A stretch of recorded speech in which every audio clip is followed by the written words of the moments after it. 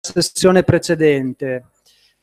Nel, nel frattempo eh, vi faccio notare anche che nelle carpette avete i dati sui dati delle sorveglianze sull'attività fisica in Emilia Romagna che sono eh, ovviamente suddivisi per genere, quindi abbiamo i dati sui maschi e, e sulle femmine.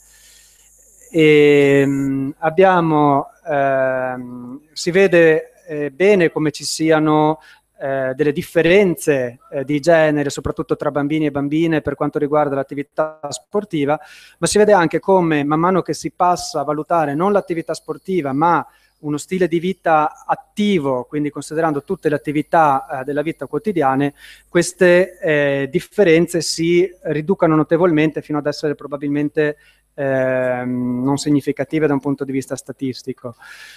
quindi ehm, ci sono questi dati che sono degli ulteriori spunti di riflessione sulla, sugli argomenti dell'attività fisica sportiva di genere. Delle domande?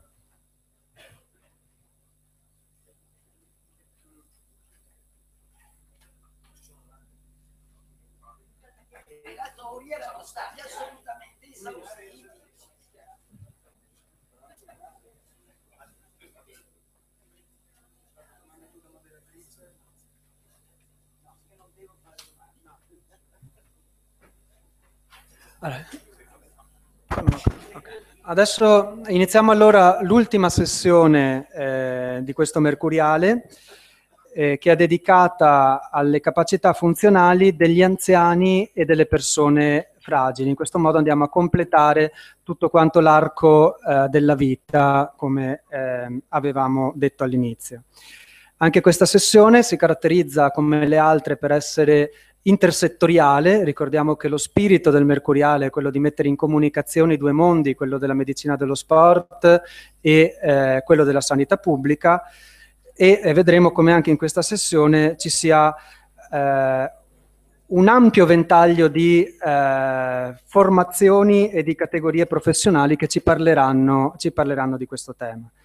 Anche in questa sessione avremo uno sguardo eh, più vicino alla medicina dello sport che parlerà degli effetti eh, biologici, dei bisogni di salute connessi all'attività fisica di anziani e eh, poi quali sono le strategie per far sì che eh, l'attività fisica effettivamente eh, venga fatta e sia a disposizione eh, di queste persone.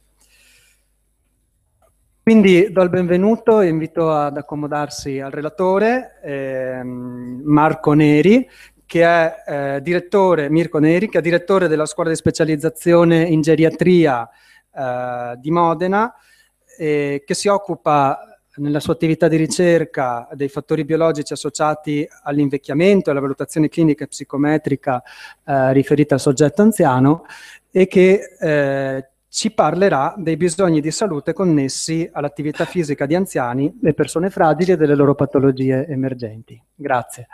Grazie a lei. Eh, buon pomeriggio.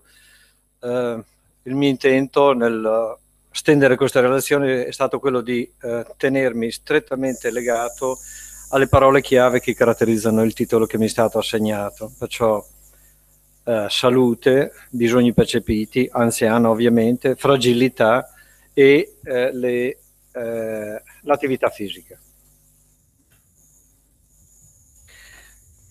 Direi che posso... Eh, invio. Si può dire che eh, lo stato di salute dell'anziano, per usare un ossimoro, è caratterizzato dalla malattia. Eh, se noi guardiamo i dati del, dello studio Italian Longitudinal Study on Aging eh, della seconda metà degli anni 80, questo studio ha certificato che in Italia, come in molti altri paesi cosiddetti eh, occidentalizzati, le ultime decade di, di vita sono ca caratterizzate dalla presenza di una o più, o, oltre tre malattie diagnosticate le persone che non hanno malattie diagnosticate sono la minoranza, 10%. Perciò è normale essere malati a una certa età. Questa condizione è alla base, non è l'unica, ma è una condizione che probabilmente eh, favorisce eh, una sorta di distorsione nella percezione della, uh, della vita dell'anziano che è presente nell'anziano stesso, ma anche nei familiari e anche nei medici, che con uh, una banale traduzione dell'inglese ageism noi abbiamo battezzato ageismo, che vuol dire attribuire all'età anagrafica una serie anche complesse di segni e sintomi che sono in realtà attribuibili a malattie età correlate. Al di là dell'aspetto puramente nominale, l'ageismo eh, porta a delle conseguenze eh, rilevanti, secondo me, dal punto di vista funzionale e dal punto di vista dello stato di salute, perché è un fattore che eh, determina o favorisce un nichilismo sia in ordine alla possibile diagnosi precoce di malattie, sia in relazione alle attività di cura e alla aderenza alla terapia. In realtà, se noi dobbiamo parlare di stato di salute, dovremmo riferirci, secondo le indicazioni dell'Organizzazione Mondiale della Sanità, non solo alla diagnosi, diciamo, o gli aspetti biologici, ma soprattutto anche al profilo sintomatologico che nelle persone anziane è caratterizzato da non essere caratteristico, è eh, diverso da quello che compare tipicamente nell'adulto e dalla disabilità intesa come eh, ridotta, progressivamente ridotta capacità di far fronte alle richieste della vita quotidiana. Quali sono i bisogni della, della salute percepiti e dichiarati di una persona anziana? Voi potete assaggiarli con dei questionari come questo, validato anche per l'Italia, oppure con uh, dei colloqui e eh, vi troverete sostanzialmente che le richieste sono concentrate non tanto sulla malattia, il fatto di sapere di essere ipertesi non porta a sentirsi malati o chiedere di essere guariti dal, da questa malattia, quanto di essere il più possibile esentati dai sintomi e esentati dalla disabilità. Sono i due pilastri su cui si poggia la richiesta di salute degli anziani, ma sono anche i pilastri su cui si poggia la possibilità di eh, un rapporto dialettico con eh, il medico o qualunque altro operatore e che condiziona in maniera sostanziale l'aderenza e la comunicazione fra queste due eh, persone o queste due entità. Un'altra caratteristica delle persone anziane è la variabilità le persone anziane sono molto diverse l'una dall'altra e qua voi vedete questa, tutte e due queste persone sono comorbide, hanno delle malattie anche eh, non, non trascurabili, però le loro capacità funzionali e la loro sintomatologia è sostanzialmente diversa. E noi dovremmo cercare di agire su questo piano, perciò l'attività fisica per quanto riguarda l'anziano, non dovrebbe essere mirata esclusivamente o prevalentemente all'azione di prevenzione primaria, anche se è importante, quanto alla prevenzione secondaria, cioè evitare gli aggravamenti e le complicanze, o terziaria addirittura, e a una cura, e cura intendo eh, prendersi cura di questa persona, non curare, detto in, grossolanamente in inglese, to, to care and not to cure cioè non limitarsi a dare una pastiglietta o qualche cosa del genere. Come vedete eh, il rapporto fra malattia e disabilità è molto separato, per cui c'è un ampio spazio di azione nel compensare lo stato di malattia ed è lì che noi dobbiamo agire. La prevenzione primaria non è da trascurare, ovviamente, non, non sto dicendo che questo non è importante, è eh, interessante anche se un po' americano questo dato che eh, fa delle previsioni o proiezioni. Se noi, dice, se noi mettiamo insieme tutti questi elementi di rischio e li riduciamo del 10 o del 25%, una riduzione del 25% farebbe risparmiare, visto che si parla anche di questo, la comparsa clinica di demenza nel corso di un anno. Per cui, ed è credo stimolante vedere come l'attività fisica o l'abolizione o la riduzione della inattività fisica del 25% è un pilastro, è una componente molto rilevante di questa barra di riduzione delle eh, manifestazioni cliniche di demenza. Ma anche nel corso di malattie, questi sono lavori fatti nel gruppo di Stoccolma, eh, anche in presenza di malattie già presenti, l'attività fisica, mentale, lo stile di vita, la dieta e anche le medicine possono contribuire a uh, proteggere, perciò a, a, svolgere attività di tipo prevenzione secondaria e terziaria molto efficienti. Perché l'attività fisica o l'esercizio fisico è importante? Uh, vabbè, voi lo sapete meglio di me, uh, io che sono, vorrei solo sonteggiare così, promuove tutte le attività che mantengono lo stato di salute dei vari eh, organi ed apparati e inibisce eh, una serie di fattori dall'ipercortisolemia all'infiammazione cronica, all'aumento delle, dell'ossidazione e tutto il resto, che al contrario portano a danneggiare i grandi sistemi omeostatici, cervello, eh, ormoni, sistema cardiovascolare e così via. Non entro in questo tema perché eh, il punto essenziale è che è una specie di matrice eh, che diffonde le sue possibilità eh, di cura eh, su molti sistemi perché va a toccare dei eh, modelli o delle attività sostanzialmente di base della, del nostro organismo. Attività fisica in geriatria è ovvio che non, non è, eh, è, auspicabile anche l'attività di fitness, cioè di, eh, di, allenamento, ma sarebbe ed è molto importante, eh, prima di tutto, che ci sia un'attività eh, motoria quotidiana e degli esercizi di una certa regolarità. L'altro termine che era presente mia, uh, nel titolo era fragilità. Questa è una uh, definizione una delle possibili definizioni, sottolineo che è una sindrome biologica e abbiamo visto un attimo fa che l'attività fisica agisce sostanzialmente su dei meccanismi biologici di base. Perciò è una sindrome biologica di ridotta resistenza agli eventi stressanti che deriva da un declino simultaneo di diversi apparati che determina un aumento della disabilità, che era uno dei pilastri dei nostri obiettivi di cura. Perché la fragilità è importante in relazione all'attività fisica?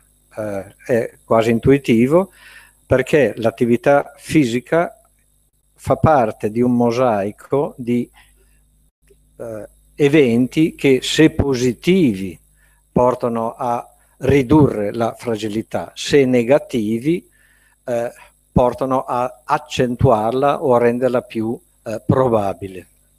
Perciò fragilità e attività fisica hanno una strettissima connessione sul piano biologico. Anche di altri tipi, possiamo anche solo limitarci a questa. Tant'è vero che quando si parla di prevenzione della fragilità, e qua questo titolo, come vedete, è anti-ageistico per definizione, non è una conseguenza eh, inevitabile del, dell'età anagrafica, dell'accumulo de, degli anni, ma una la fragilità ha una sua indipendenza dal dato puramente anagrafico. Quali sono le cose che si possono fare per evitare la fragilità? Esercizio fisico, nutrizione, ridurre l'infiammazione cronica. Poche cose element elementari, nel senso come quando si fa uno sport ci sono degli elementi di base, intanto bisogna conoscere quelli, poi dopo si fa il resto. Per cui i trabocchetti in cui noi non dobbiamo cadere sono nell'avere un atteggiamento ageistico, tanto a quell'età cosa vuoi che sia, è colpa dell'età, cosa vuoi farci, ma sì, l'età. Uh, due, le conseguenze di questo, l'estensione di questa uh, distorsione che portano a far sì che, ma stai quieto, stai fermo, non, non corri rischi, ma se poi cadi, ma fai così, te lo porto io il peso oppure facciamo non guidare, ma cosa vai ad andare a fare e così via, fino all'allettamento. Questa è una condizione estremamente diffusa un anziano che va in ospedale, ma anche a casa, se ha un po' di febbre, sdraiato a letto, o in dialetto mette zacche e guai se ti muovi, che è una condizione terribilmente eh, negativa per una serie di eh, funzioni. Io ho parlato di, eh, andrò molto di corso qua, di orientamenti nell'attività fisica, eh, perché se è vero, come è vero, che le persone anziane sono molto diverse fra di loro, le linee guida definite nelle, da varie organizzazioni internazionali non sempre, non sono facilmente eh, applicabili nella singola persona anziana. Per cui, diciamo, orientativamente ci sono delle cose che si possono fare, ma devono essere, ma l'ho sentito dire anche oggi per eh, le donne in gravidanza, personalizzate, eh, ritagliate sulla persona. Per cui abbiamo, io vorrei fare questa distinzione, due tipi di attività fisica, sul soggetto sano, quella piccola minoranza, o sul soggetto che eh, ha solo la patologia con scarsa disabilità, che ha un'attività di prevenzione primaria, abbiamo visto, o secondaria, con delle uh, attività, l'ho sentito parlare anche oggi, 75 minuti quotidiani o due ore, eccetera, che eh, devono essere valutate prima da esperti. Eh, il cammino è una uh, specie di elemento o linea rossa o filo rosso che collega tutte le attività che noi possiamo immaginare per queste persone.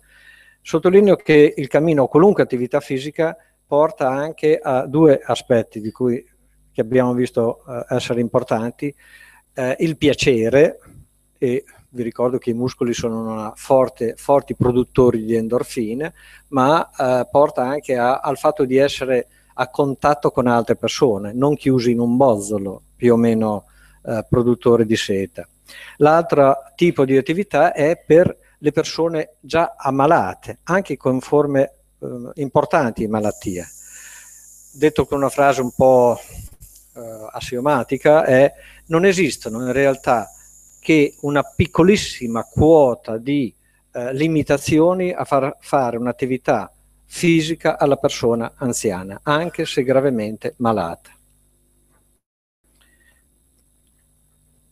È importante l'altra cosa che... Eh, vai.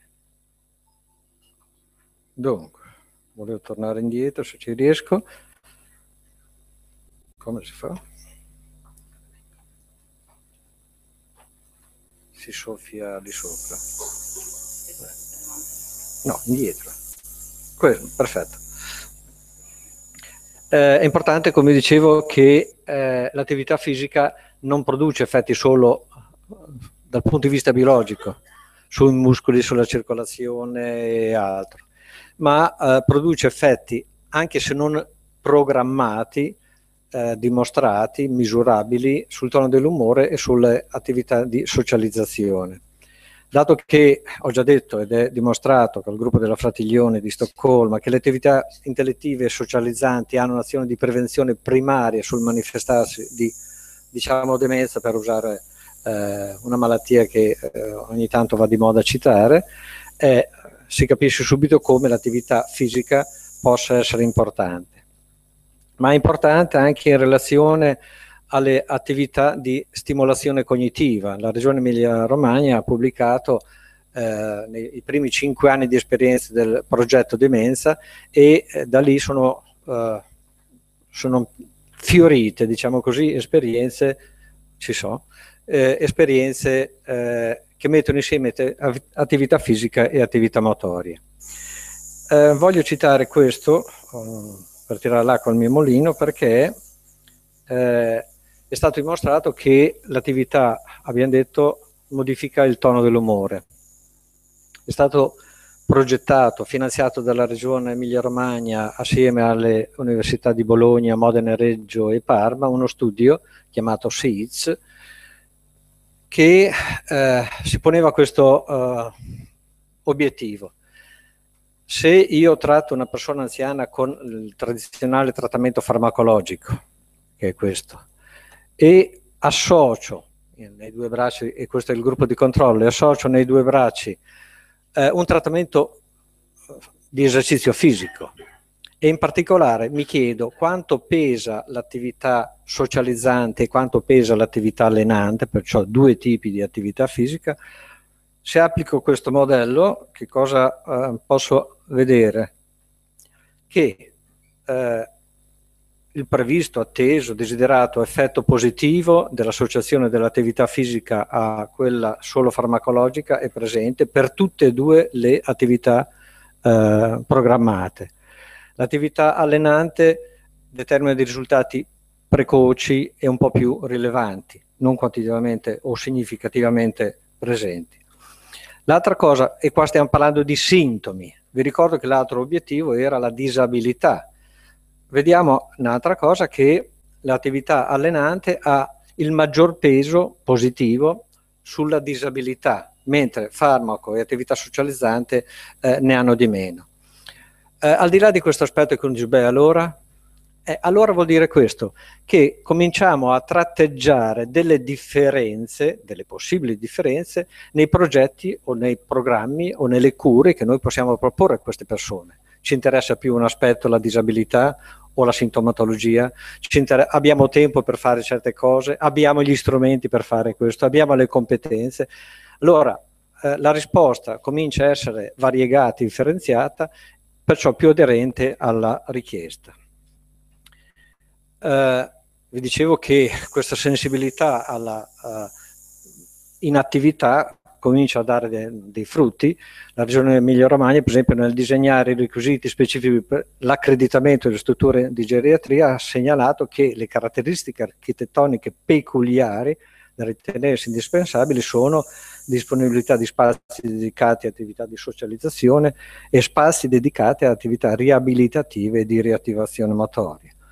L'attività motoria eh, generale eh, per gli anziani ha una lunga esperienza a Modena e eh, via via si è sviluppata, questo è un, un report del 2006 e come vedete, da, vedete, non vedete perché credendo sulla parola, dai primi attività relativamente eh, semplici e eh, non dico monotone, ma legate a poche possibilità, eh, si era aperta a molte eh, eh, disponibilità e eh, possibilità.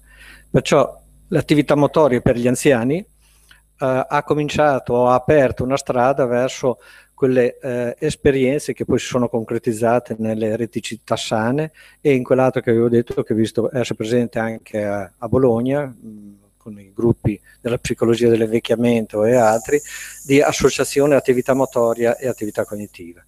Eh, non parlo dell'attività fisica adattata dove il modello è diverso, qua non parliamo di una specifica patologia, quella adattata vuol dire che questo individuo ha il Parkinson, eh, uniplegia, farà un'attività fisica adattata alle sue condizioni.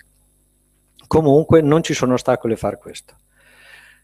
Concludo con le ultime diapositive e eh, mi permetto di eh, segnalarvi questa che non è citata nel titolo. Eh, come fare per far sì che queste attività eh, perdurino nel tempo, motivare e fare queste attività. Qua uh, cito due lavori. Il primo che uh, Older People Exercise Intervention in Residential and Nursing Accommodation, che uh, trova dei risultati insoddisfacenti. L'altra invece Home Based Exercise, che trova risultati soddisfacenti.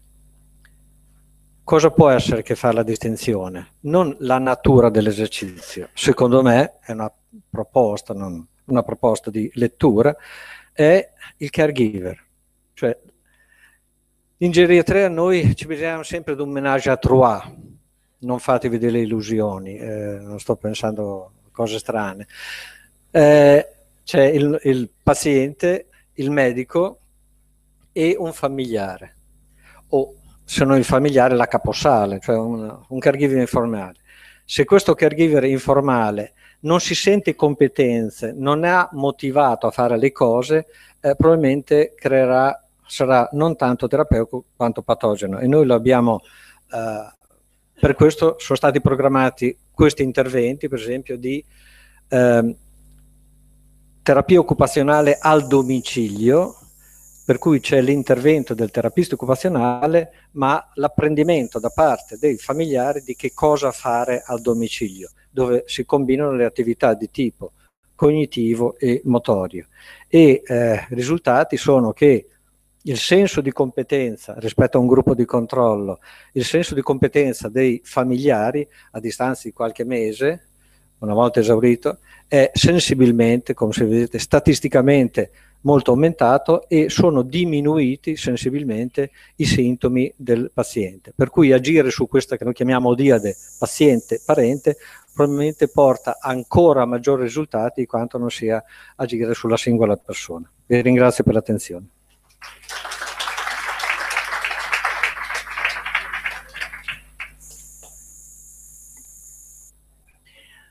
Il professor Trippi ci ha sostanzialmente proposto questa visione, movimento, terapia e prevenzione. Neri,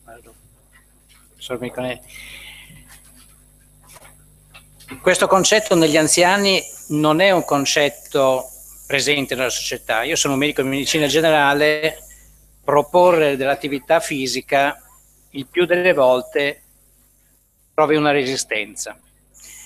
E la difficoltà proprio è quella del far passare questo concetto questa possibilità, come intervenire, quali strategie di intervento, come motivare, ci verranno proposti dal professor Luca Pierantoni dell'Università di Psicologia di Bologna.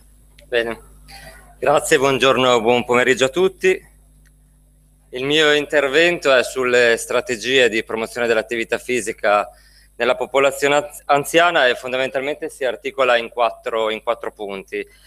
Eh, vorrei cercare di rispondere alla domanda chi sono gli anziani più attivi e chi sono gli anziani più sedentari secondo la letteratura, quali sono gli interventi più efficaci per promuovere l'attività fisica negli anziani e poi vi vorrei presentare gli esiti di un progetto europeo che ho seguito come Università di Bologna proprio sulle buone pratiche per la promozione dell'attività fisica nella popolazione anziana. In particolar modo questo progetto ha avuto l'esito di due prodotti, il primo rivolto ai policy maker, che era un prodotto in cui venivano raccolte e analizzate le buone pratiche a livello europeo sulla promozione dell'attività fisica negli anziani, e il secondo invece è un leaflet, una brochure motivazionale rivolta proprio alle persone eh, sopra i 60 anni.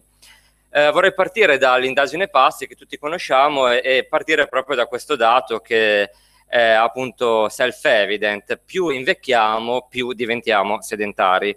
Non ho incrociato questi dati con i dati di passi d'argento perché le classificazioni sono un po' diverse, però eh, è indiscutibile appunto che all'aumentare dell'età aumenta il livello di sedentarietà.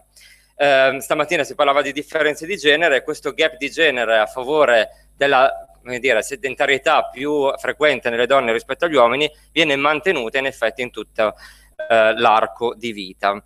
Eh, la domanda quindi che ci poniamo è, nella fascia over 60, over 65, chi sono gli anziani più attivi? Quali sono i fattori personali e socioambientali che possono incoraggiare l'attività fisica o invece scoraggiarla?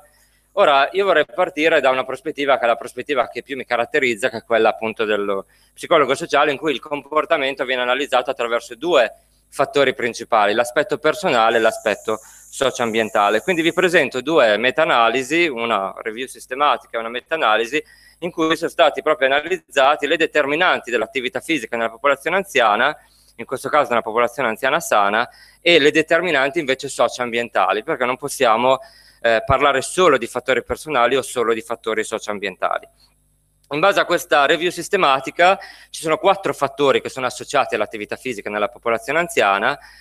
Eh, vedete due che correlano positivamente con l'attività fisica, quindi il funzionamento fisico generale e l'autoefficacia, e due invece che correlano negativamente con l'attività fisica. Eventi maggiori di vita, come ad esempio le perdite o dei cambiamenti eh, che ci possono essere nella, eh, nella vita di una persona anziana, in generale scoraggiano il mantenimento o l'adesione ad un programma di attività fisica e anche il BMI appunto è associato negativamente all'attività fisica. Peraltro sappiamo dalle ultime meta-analisi che la relazione tra BMI e attività fisica è nella direzione in cui il BMI influenza l'attività fisica e non viceversa.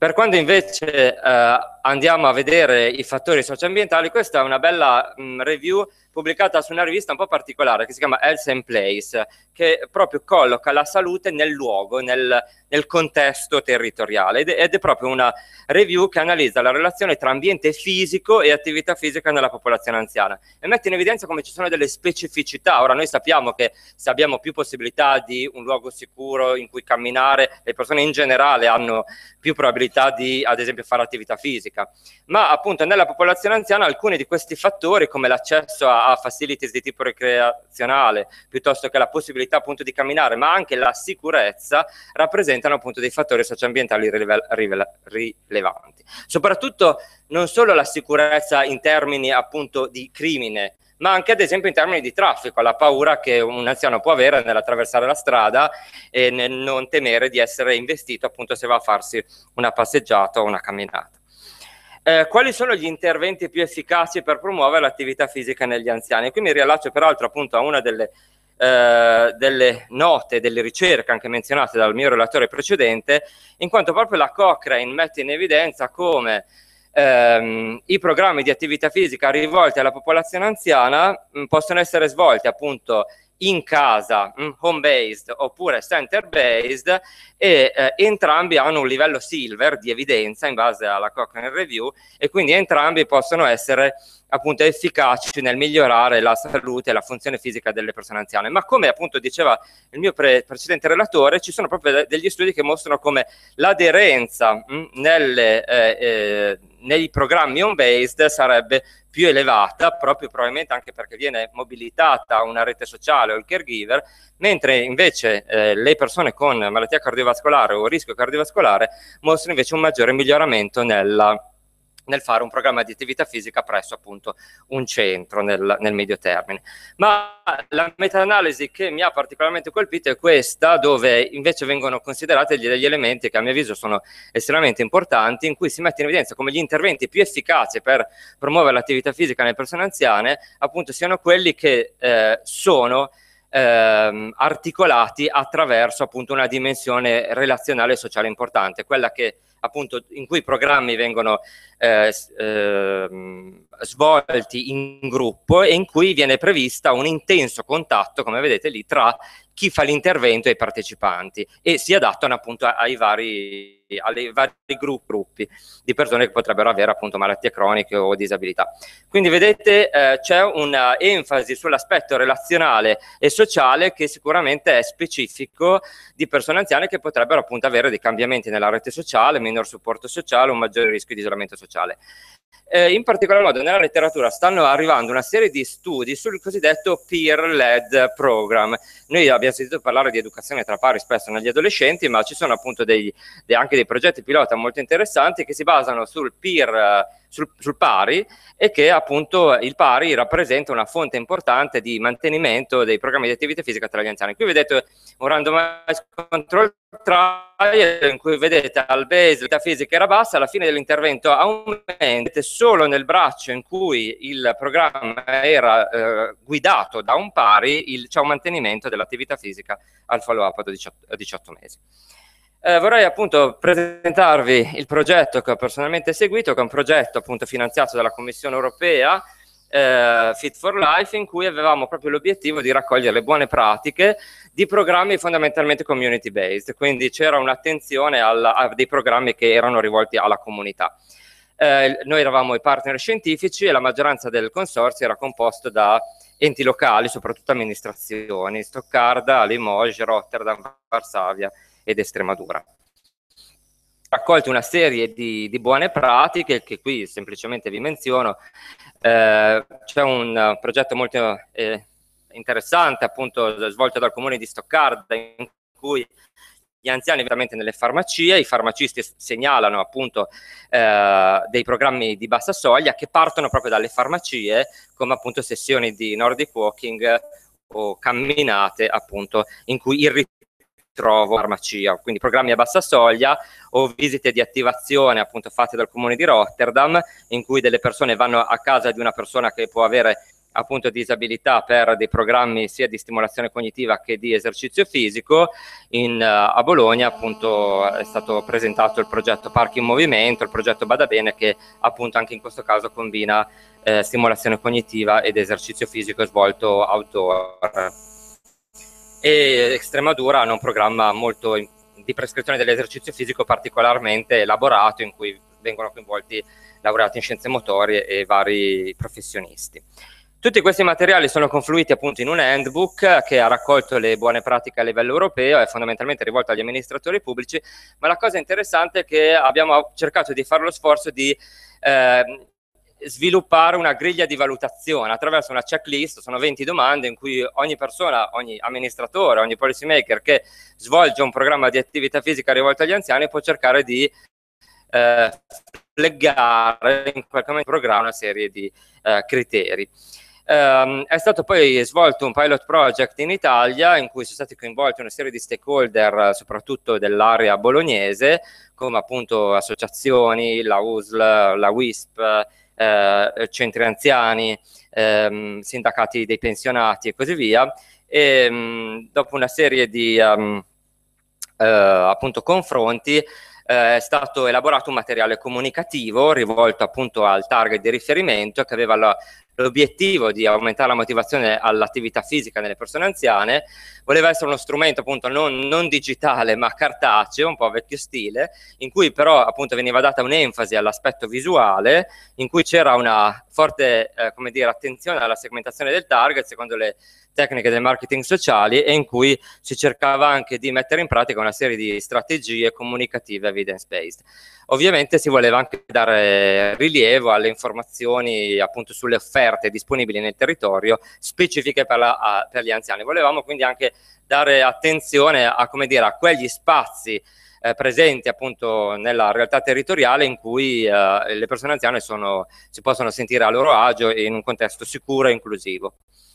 Uh, per produrre il materiale abbiamo fatto de prima delle interviste in profondità con degli anziani di Bologna, poi abbiamo raccolto le offerte locali e abbiamo fatto un'opera abbastanza, come dire, consuming di pretest, accessibilità e leggibilità e poi abbiamo fatto una versione finale.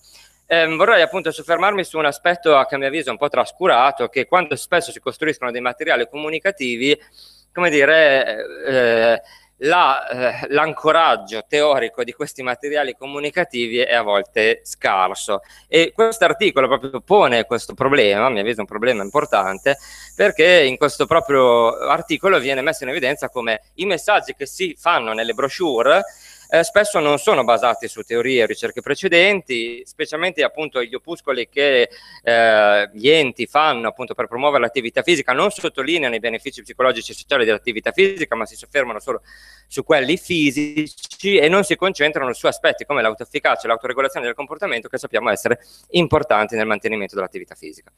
Eh, quindi abbiamo cercato di includere appunto nel nostro materiale comunicativo dei messaggi sulla base appunto delle ricerche precedenti, ad esempio ci sono degli studi, questo molto interessante, sull'annual behavioral medicine, in cui si mostra appunto come i messaggi di tipo game frame, cioè quelli basati sulle acquisizioni, hanno più efficacia dei messaggi di loss frame, soprattutto appunto in eh, ambiti di prevenzione fisica, la disassoffizione dal fumo e la prevenzione del tumore alla pelle, e quindi abbiamo deciso di includere soprattutto messaggi game frame nel nostro opuscolo. Siamo andati a vedere le RHS, sapete, specifiche per gli over 65, quindi almeno 50, 150 minuti di attività fisica aerobica, rafforzamento muscolare, equilibrio, però abbiamo anche visto che cioè, è uscito proprio nel 2013 nel European Journal of Public Health un articolo che ci dice che i messaggi soglia potrebbero essere, in cui si identifica la soglia dei 150 minuti a settimana, potrebbero essere percepiti come irrealistici dalle persone altamente sedentarie perché sarebbero degli, degli obiettivi difficili da raggiungere. E quindi abbiamo deciso di includere sia messaggi threshold cosiddetti, quindi abbiamo da una parte incluso la soglia dell'OMS, ma abbiamo anche cercato di stemperare la soglia includendo appunto messaggi di tipo non threshold. Abbiamo poi rivisto appunto i, le attività fisiche praticate da eh, over 65 in come degli anziani attivi fa attività come passeggiare, portare il cane a spasso e andare in bicicletta. Attività come ginnastica dolce, pesca e bocce sono minoritarie e nuoto, corse e ciclismo sono assolutamente infrequenti.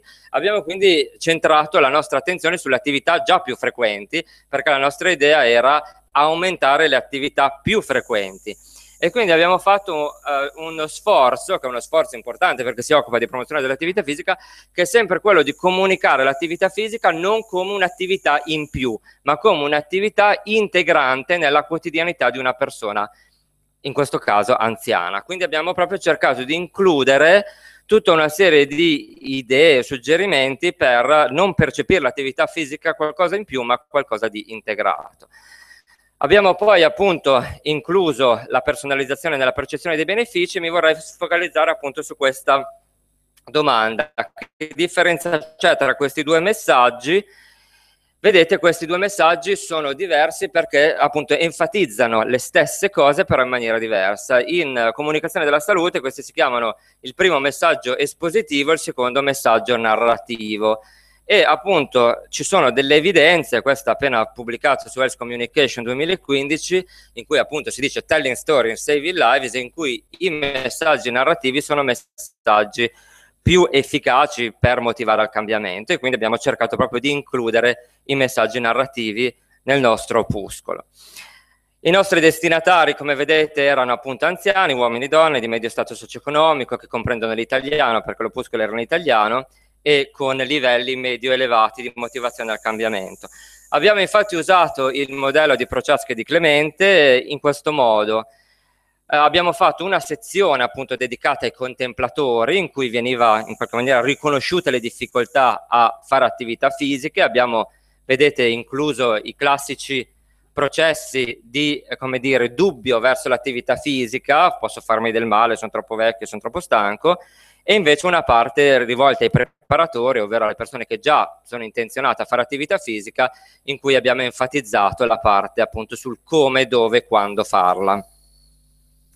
Vedete, abbiamo fatto una serie di, incluso una serie di offerte, balli di gruppo, abbiamo incluso il progetto palestre sicure, ma anche appunto forme di attività fisica svolte a domicilio e poi abbiamo illustrato alcuni esercizi di base suggeriti dai laureati in scienze motorie. Questo è il prodotto finale che è stato distribuito in vari centri anziani mm, e altri luoghi e contesti più frequenti ad alto europeo, ma poi appunto il progetto è stato realizzato attraverso il coinvolgimento di numer numerosi stakeholder anche appunto a livello, a livello locale. Tutti i materiali vengono, eh, possono essere scaricabili dal sito Cities for Sports EU e nella vostra cartellina trovate appunto sempre ulteriori informazioni. Eh, grazie per l'attenzione.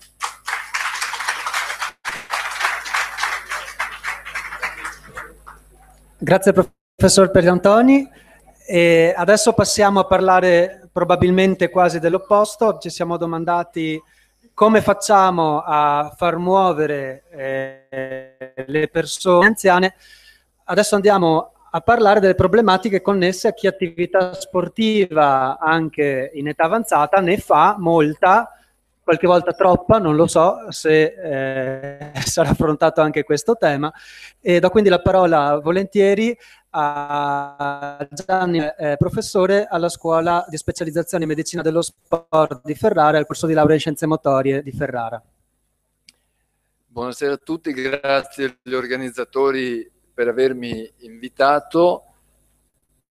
E I redattori che mi hanno preceduto hanno usato un termine che l'ageismo francamente non lo conoscevo è in caso nella mia relazione mi imbarazza un po' perché eh, forse bisogna ribaltare la questione cosa vogliono fare questi atleti master. Cioè, e qui vi ho messo Gianni Morandi per fare onore a, a Bologna perché mi è capitato alcune volte andando sul passo della Raticosa vederlo correre e, ed è un rappresentante col pettorale dell'atleta master perché l'atleta master è un atleta competitivo per definizione.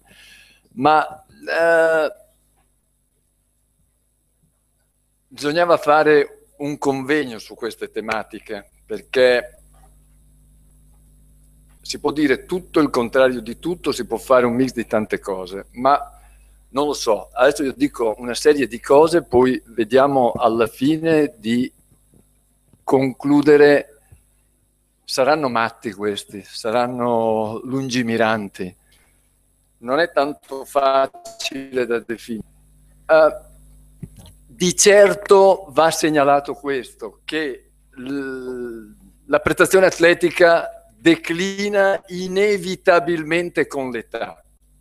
Quindi togliamoci dalla testa se qualcuno di noi ce l'avesse, ma di molti atleti master che la loro prestazione non sia in declino, perché anche questi grandi atleti, questi sono grandi atleti, stanno declinando la performance. Studiando questo argomento mi sono imbattuto in persone straordinarie, cent'anni. Qui in platea c'è una ragazza che camminava con un 5 anni, ragazzo.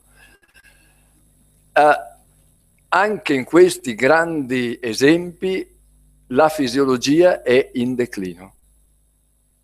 Non dimentichiamolo mai.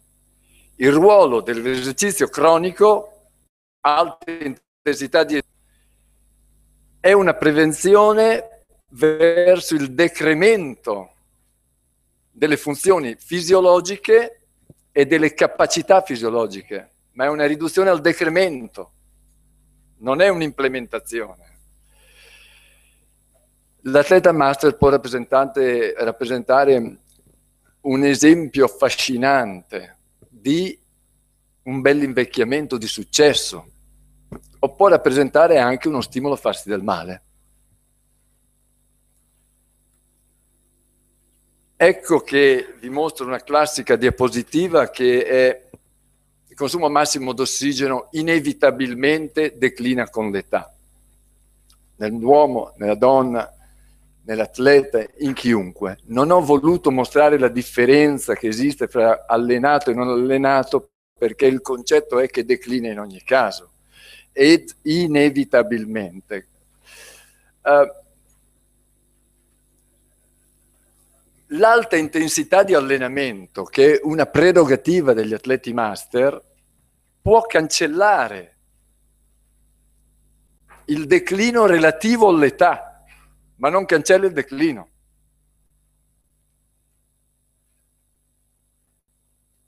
Dai 25 ai 30 anni si assiste ad uno steady state di questa funzione,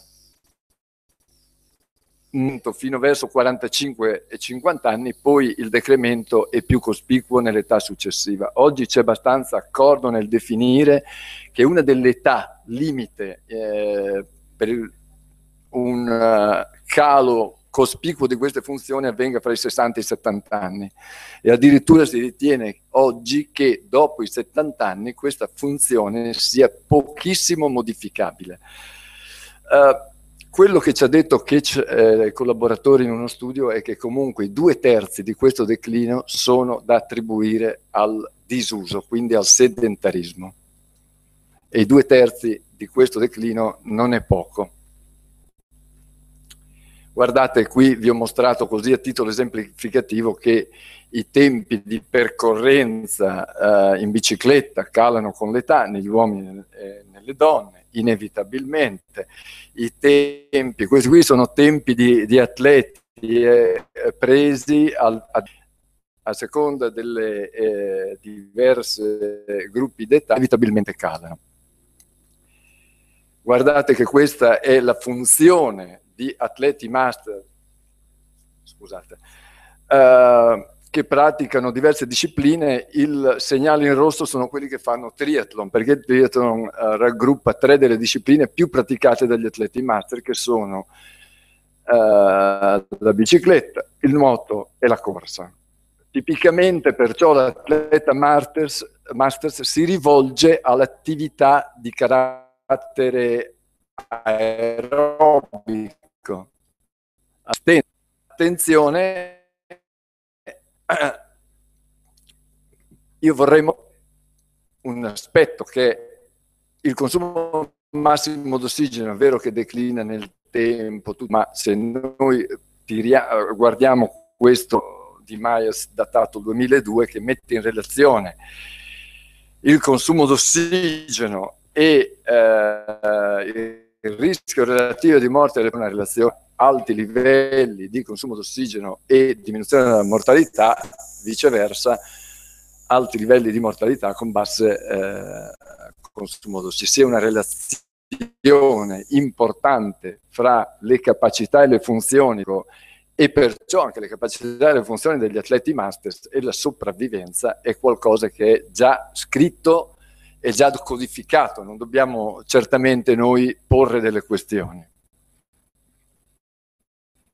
La forza, la forza e il declino, in questo caso eh, è un capitolo meno studiato della uh, questione del metabolismo aerobico, ma c'è un'evidente tipologia di declino che è uguale per capacità, anche per l'andamento delle capacità aerobiche. Vedete che l'atleta non, uh, il soggetto non allenato ha un declino più precoce, l'atleta allenato ha un declino meno precoce, ma l'andamento, se voi vedete, è quasi sovrapponibile. Fino ad un'età che è attorno ai 50-60 anni, che a quel punto nei soggetti non allenati il declino è più evidente, ma l'andamento più o meno è lo stesso. Si assiste inevitabilmente anche nei grandi atleti ad un declino. Guardate che eh, poi vengono riportate che si diminuisce i, i muscoli con una percentuale dell'1-1,% ogni anno, ecco che compare la sarcopenia dell'anziano, che è una delle problematiche più importanti per le fragilità degli anziani. Chiaro che nei soggetti che svolgono alte dosi di attività questo fenomeno compare molto molto in ritardo e si ritiene che avvenga dopo gli 80 anni. Cosa si riduce? Eh, principalmente si riducono le fibre di tipo 2 ed è per questo che calano moltissimo le espressioni di eh, velocità. Tipicamente sono quelle delle fibre bianche e sono le prime a scomparire ed essere, ed essere sostituite da, quando va bene il tessuto connettivo, se no il tessuto adiposo. Quindi più grandi masse muscolari in questi atleti master, un'architettura muscolare anche migliore e una funzione migliore, questo è documentato da studi di ecografia molto precisi, l'architettura muscolare dell'atleta master ha una, mantiene una fisionomia molto simile a quella degli giovani, giovani e soprattutto rispetto ai soggetti sanitari. Uh, uh, questo, questo ve l'ho rimesso, rimesso in questa filostrada, perché oggi, oggi lavori, lavori con, con questa questione di essere pensati come un limite dove tanti benefici poi non si riproducono come nelle decadi precedenti, ma questi benefici sono molto molto uh, assottigliati. Guardate che eh, gli studi che vengono pubblicizzati, sono studi di intervento e quindi come tali prevedono, hanno dimostrato che la capacità dell'esercizio fisico, dell'allenamento dell'esercizio fisico di stimolare degli uh, adattamenti positivi nei muscoli in tutte le età. Dipende poi quanto è la percentuale di miglioramento di, nelle diverse decadi di età. C'è un aumento sicuramente della forza muscolare, della massa muscolare, un aumento della sintesi delle proteine e perciò questo qui è intimamente legato anche ad una particolare cura che ci deve essere dell'alimentazione dell'anziano dove l'apporto proteico deve essere motivato e non demotivato. Molto spesso queste... Ehm, indicazioni in cui c'è l'abbandono assoluto all'introduzione delle proteine animali, in qualsiasi campo uno le metta in discussione, vanno assolutamente eh, matchate con il fatto che nell'anziano in ogni caso l'apporto proteico deve essere adeguato per il mantenimento delle funzioni non, e non per il miglioramento, ma anche solo per il mantenimento. Uh, ci sono cambiamenti nelle catene pesanti della miosina, nella composizione e soprattutto c'è un aumento importante delle cellule satellite che sono quelle che oh, determinano 10 manca. Ah, ok, sì, scusami, pensavo già di essere arrivato 5. Dico. uh, guardate, eh, riportiamo la nostra attenzione sulla forza muscolare e la sopravvivenza. Questo è un valore, è un lavoro uscito sul British Medical Journal nel 2008, 8.000 persone, un grande studio. Guardate un po' che eh,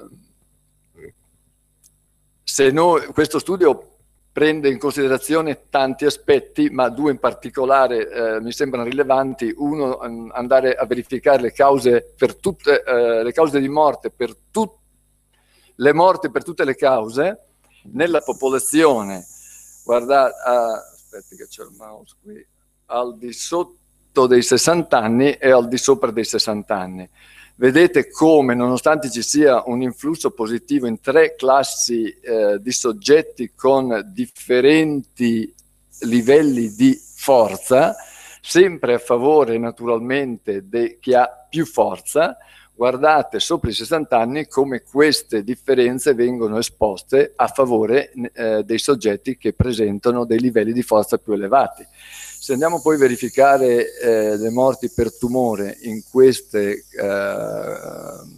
gruppo di persone, vedete che eh, la stessa relazione viene mantenuta, perciò la morte per tutte le cause o la morte per patologie specifiche come i tumori vengono ad essere diminuite tantissimo in persone che hanno livelli di forza più elevati. Poi biologicamente non chiedetemi il perché, perché gli studi sono ancora in corso. Uh, uh, faccio così. Se uh, guardate poi di mettere in relazione sia la forza muscolare della sopravvivenza e l'effetto anche di chi ha un allenamento di resistenza cardiorespiratorio, guardate bene come sogge i soggetti unfit hanno una possibilità di morte superiore ai soggetti che hanno sia forza muscolare che fitness cardiorespiratorio eh, di livello superiore. Perciò anche per questo parametro c'è una uh, specificità che ci dice che la forza muscolare è intimamente legata anche alla sopravvivenza di una popolazione. Perciò l'atleta master va ancora bene come modello ideale. Adesso prendiamo in considerazione tre discipline che sono quelle che vanno per la maggiore. Il nuoto in un grosso studio eh, del 2008 in cui viene messa in, uh, è un, una popolazione di 40.000 persone, questa è studiata per molto tempo, mette in relazione soggetti che facevano nuoto con soggetti sedentari. Guardate che eh, sempre la mortalità com'è molto più elevata nei soggetti che sono sedentari rispetto a quelli che fanno nuoto. Ma la cosa che hanno incrociato in questo studio è di mettere in relazione quelli che fanno nuoto con quelli che corrono. Nonostante quelli che corrono muoiono di meno di quelli che sono sedentari, però i nuotatori in questo studio muoiono molto di meno dei soggetti che uh, fanno la corsa. Perciò c'è differenza nella scelta e forse anche nella prescrizione delle attività. Quantomeno c'è bisogno di porsi il problema. Il ciclismo. Qui ho preso uno studio che molti di voi conosceranno, che sono, è la mortalità dei partecipanti francesi al Tour de France dal 1947 al 2012. Sono 786 eh, soggetti dal 1947 al 2012. Guardate un po', si vede male? Lo si vede? Mm. Ah, intanto vedete che al Tour de France, che è la terza manifestazione per importanza al mondo dopo le Olimpiadi e i campionati del mondo di calcio, a differenza delle altre, questo viene fatto ogni anno, quindi la valenza è moltiplicata per 4. Guardate che uh, all'inizio, dopo la guerra, la partecipazione dei francesi era molto superiore rispetto invece ai uh, nuovi partecipanti. Adesso andando avanti nel tempo, quando i partecipanti li hanno portati a 200, adesso sono 200 durante la corsa, si sono un po' modificate queste eh, percentuali di partecipazione, ma l'interessante è eh, questo grafico che mette in relazione gli standard, del, sempre la mortalità di questi soggetti che evidentemente hanno svolto grandi volumi di allenamento e, grandi, e di grande intensità, guardate, mi è sfuggito, allora, no. Scusate, l'età Ecco qua, vedete che avendo diviso le classi d'età ogni 5 anni, sempre questi ciclisti stanno al di sotto della normalità che ci si aspetta per età sesso di questi soggetti. Perciò 5 minutes, sì. perciò avanti. Li hanno uh, raggruppati in periodi maggiori, dal 47 al 70, dal 70 al 90 e così via, voi vedete bene quello che voglio far vedere, che questi soggetti muoiono di meno della popolazione, quindi muoiono di meno di quello che ci si aspetta. Anche i soggetti che hanno svolto questi grandi impegni, grandi eh, attività sportive, che a volte ci pongono il dubbio, ma farà bene questa attività? La corsa. E qui e qui eh, vado a terminare perché qui lo studio della longevità è il Copenhagen City Art Study, quindi è un grosso studio fatto su 17.000 erotte persone, uno studio eh, di follow-up di 35 anni. Guardate un po' che mette in relazione i soggetti non jogger con i jogger e, si, e prende in considerazione coloro che corrono. Guardate un po', ore di corsa alla settimana, chi fa meno di un'ora muore, cioè ha un rischio di morte del meno 32%. Chi fa dall'1 a 2,4, 42%, meno 21%, chi fa più di 4 ore, meno 14%. Mm? Sento già il brusio in sala che ci porterà alle conclusioni. Guardate un attimo che vi voglio far segnalare come la classe di rischio inferiore è quella che fa da 1 a 2,5 ore alla settimana di corsa, quindi che rientra sicuramente in quei 150 minuti di, eh, che l'Organizzazione Mondiale della Sanità e tutte eh, le associazioni scientifiche ci propongono. Non che gli altri muoiono di più, muoiono di meno, ma quelli che guadagnano di più sono questi. Se prendiamo un altro parametro, che è quanti allenamenti faccio alla settimana, chi fa un allenamento alla settimana ha un meno 60%, chi, ne, chi fa sempre due o tre allenamenti meno 60%, chi ne fa più di tre ha più 24%. Sta emergendo, eh, è uscito ultimamente uno studio che eh, viene chiamato la U-shape curve, cioè l'andamento a U della curva. Sta venendo il fenomeno come dell'obesità o del dimagrimento, cioè perciò nella parte finale rimane l'interrogativo se tanto fa bene o mentre altri studi, come quello del nuoto, quello del ciclismo, hanno portato il contributo che tanto in ogni caso fa bene, questo studio porta un dubbio se la troppa attività ad una certa intensità possa non essere così vantaggiosa come si era pensato. Qui ho voluto segnalare. Quello finisco dicendovi che l'esperienza degli atleti master è stata portata eh, in questo articolo del 2007 che sono eh, le superior athletic performance di due dei trapiantati di, di cuore, perché a questo punto noi vediamo questi meravigliosi soggetti a cui è stato trapiantato il cuore che eh, hanno delle svolgono delle attività sportive e hanno delle prestazioni molto migliori di soggetti che invece non hanno avuto delle sfortune e, e, e la loro sfortuna è che sono diventati dei sedentari.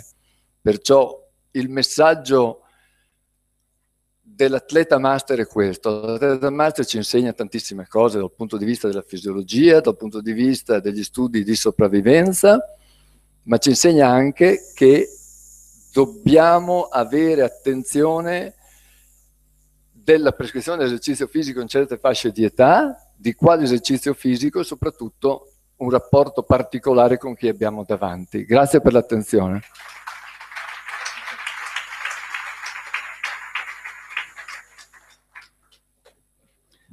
Grazie. A, a, a, conferma posso dire che già nell'Harvard Alum Study del 1986 c'era quel famoso grafico che per primo mostrava come la mortalità eh, scendesse con l'aumentare dell'esercizio fisico, tranne l'ultima colonnina, eh, quella che riferi, si riferiva alle persone che praticavano volumi maggiori di attività fisica, che era un po' più alta, quindi riproducendo questo andamento che, eh, che hai mostrato tu. E adesso veniamo a parlare di un altro tipo di fragilità, quindi abbandoniamo il campo eh, dell'età anziana per passare al campo della disabilità, eh, sia fisica che eh, intellettivo-relazionale.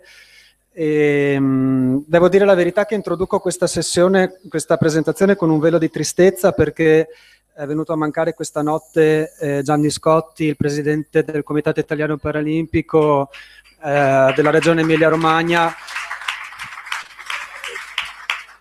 che è una persona che ha collaborato con le nostre aziende per numerosi progetti e che eh, dall'ospedale anche i giorni scorsi continuava a telefonare dicendo adesso mi stanno per dimettere, poi riprendiamo, quindi eh, veramente ehm, sono stato colpito ecco, da questa cosa. E, um, introduco eh, Ferdinando Tripi, che è il direttore dell'unità operativa tutela eh, sanitaria delle attività sportive, si chiama giusto, e eh, che collabora anche col Servizio Sanità Pubblica della eh, nostra regione. Buongiorno a tutti, spero di fare per tempo, ma ho una certa tendenza a debordare anche fisicamente. Ehm, comunque eh, ringrazio per il, cortese, per il cortese invito, poi ho messo anche la fotografia della ghirlandina della mia accettaia e quindi a segno del, di una serie di esperienze che vengono fatte a Modena, che possono sembrare banali, semplici, ma che comunque impegnano attivamente un servizio che svolge diverse funzioni, tra cui anche quella di certificazione, 12.000 certificati l'anno, e quindi ha inserito questo, questo tipo di attività stabilmente tra le, sue, tra, le, tra le, sue, attività. E quindi ci piaceva condividere con voi questa, questo tipo di esperienza. E, già noto, l'inattività è pericolosa per la salute, questo è ancora più vero nella popolazione disabile dove le abilità residue bisogna che siano preservate e possibilmente sviluppate a vicariare le funzioni perse. Tutti abbiamo presente le, Alex Zanardi, vabbè, si tratta di un atleta eh, con determinate caratteristiche, o Bebe Vio che ha perso braccia e, eh, braccia e gambe eh, per un'infezione, che è una bravissima spadaccina. E, sicuramente si può dire che eh, la disabilità eh, compromette l'efficienza motoria e quindi anche sull'efficienza della prestazione fisica e sportiva agisce in maniera molto negativa. Bisogna cercare di spostare l'attenzione dalla menomazione al residuo funzionale e lavorare su questo così come lavorare sull'interazione tra individuo e ambiente. Quindi l'allenamento sportivo, l'esercizio fisico deve essere teso a esplorare altre potenzialità, a cercare di svilupparle, a servirsene per vicariare le funzioni perdute. L'obiettivo è migliorare i propri limiti e ovviamente raggiungere un, un, obiettivo di salute. Quanto può essere importante, per esempio, giocatore di basket, giocatrice di basket in questo caso, riesce probabilmente ad affrontare molto bene eh, la salita di uno scalino eh, dopo, dopo, essersi allenata per questo tipo di attività, mentre invece per un soggetto sedentario in carrozzina può essere problematico e richiedere una, un aiuto consistente. E quindi l'attività adattata, l'attività integrata, l'attività adattata per un sviluppo prestativo che vale nello sport ma vale anche nella, nella quotidianità, un adattamento delle possibilità motorie connesse con la limitazione le attività adattate per quanto riguarda lo sport e l'allenamento devono essere ovviamente modulate per intensità, devono, ovviamente bisogna eh, realizzare un buon, un buon, rapporto con la durata del suo eh, introdurre nel caso di sport regolamentazioni eh, tecniche in grado di dare comunque una possibilità a tutti e escludere delle, delle, delle, attività che possono essere che, problematiche o addirittura causare, causare danno. Per esempio abbiamo un esempio qua, nel calcio, eh, nel calcio per amputati, qui la nazionale che ha sede a Formigine di Modena, eh, abbiamo, visitiamo gli atleti, è un'attività sicuramente pregevole, ma quanto, quanto può pesare sull'arto residuo questo tipo di attività? Sicuramente bisognerà studiarlo bene, adeguatamente, certo si può fare lo stesso l'aeroplanino, anche se magari dopo si cade per terra, ma eh, è sempre una cosa che dà molta gioia. Ci sono stati appena adesso i campionati mondiali della nazionale amputati che è andata in Sud America. O il volley, sitting volley, ehm, questo per esempio è, è, il tipo di situazione che si crea, qui c'è la Lituania che vince la medaglia paralimpica, eh, vedete la, la, gioia è identica a, soggetti normodotati, quindi questo è molto molto importante. Eh, un individuo fisicamente integro ma sedentario presenta un calo delle proprie capacità prestative, l'abbiamo detto fino adesso, la famosa malattia ipocinetica un disabile può essere un sedentario, anzi eh, molto spesso è un sedentario obbligato, eh, a questa, a questa situazione si possono associare anche patologie invalidanti eh, e anche condizioni eh, ambientali possono costringere a questa situazione. In più possono esserci condizioni accessorie, disturbi metabolici, patologie urinarie, affezioni respiratorie e cardiorespiratorie. Guardiamo per esempio questa tabella che comunque vi lascio, potete trovare dappertutto, eh, come ci sono delle condizioni patologiche associate che vanno valutate, per esempio nella sindrome di Down l'instabilità atlantoassiale, i vizi cardiaci possono condizionare, vanno ovviamente studiati bene prima di, di prescrivere o di indicare, di consigliare un'attività fisica sportiva.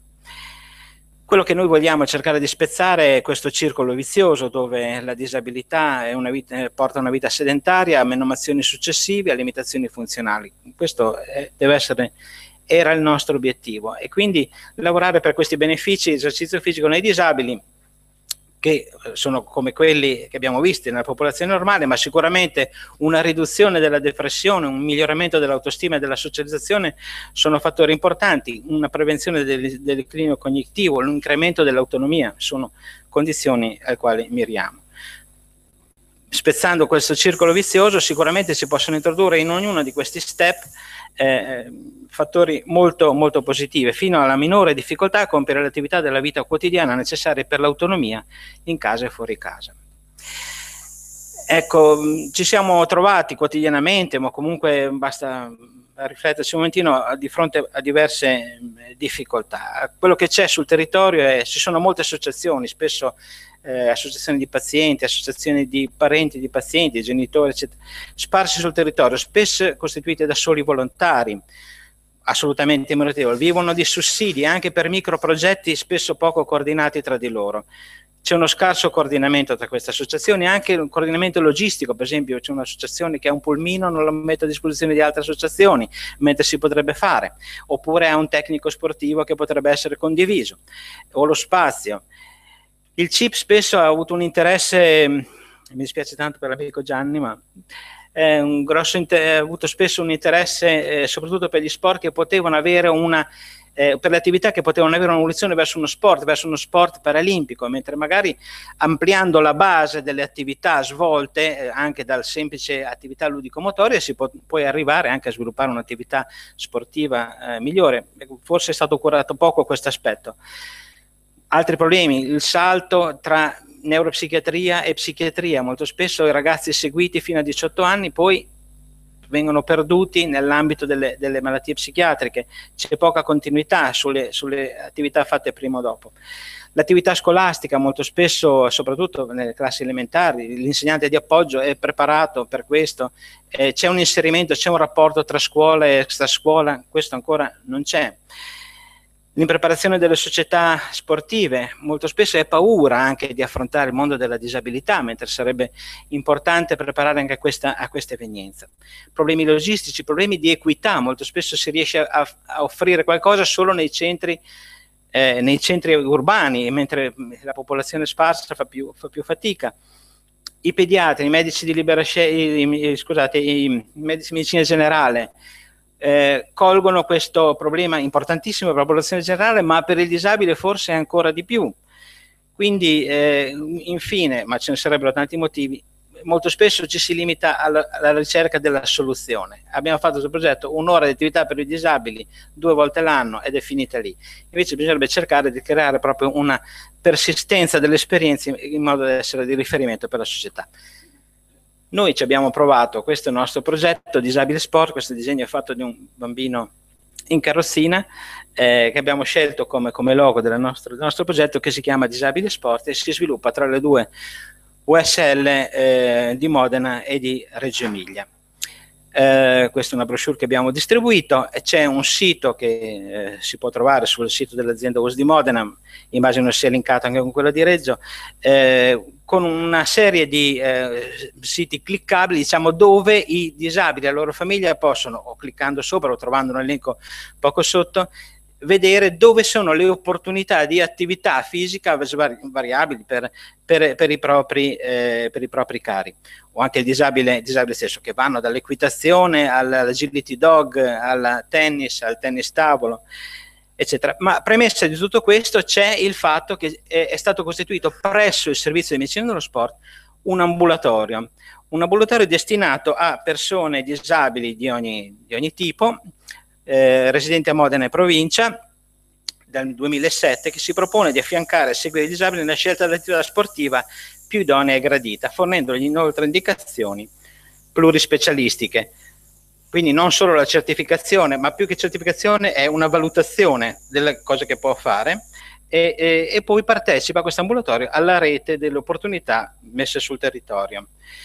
Siamo partiti dalla, da questi, questi, aspetti che tra l'altro l'avevo già, già, citato, ma anche dall'ultimo aspetto, l'attività sportiva inadeguata nel disabile può addirittura creare problematiche. Abbiamo assistito personalmente, per esempio, nell'equitazione per i bambini down, a volte i soggetti vengono trascinati sopra il cavallo e, e succedono, possono accadere problematiche. Bisogna anche avere una certa accortezza anche nelle cose che si, che si fanno, anche negli operatori progetto finanziato in, è stato grande il Panathlon International Club che ha lavorato su questo progetto, ha presentato uh, tutta una serie di, eh, presentato una serie di partner, l'abbiamo messo insieme un po' di soldi che ci hanno consentito di partire insieme all'azienda, all'azienda US di Modena, e, però c'è stato soprattutto un, un, impegno da parte delle istituzioni pubbliche, eh, delle strutture anche private. Siamo partiti con queste, ma poi la regione, l'USL ci hanno dato un grosso aiuto. All'inizio però solo il privato, è stata una cosa anche interessante da questo punto di vista. Eh, punti 4, 5, 6 sono quelli che più ci interessano, aumentare la consapevolezza sociale del problema, formare professionisti della salute perché volevamo anche mettere in rete delle competenze, delle conoscenze e averne noi stessi dalla rete esterna, studiare le correlazioni tra sport e stato di salute e cercare di migliorare le abilità eh, residue necessarie alla vita, alla vita quotidiana tutti i tipi di, di, disabilità, abbiamo detto, soprattutto disabili che ancora non, non praticano alcuno sport. Ecco qua c'è eh, la ricchezza dei nostri loghi.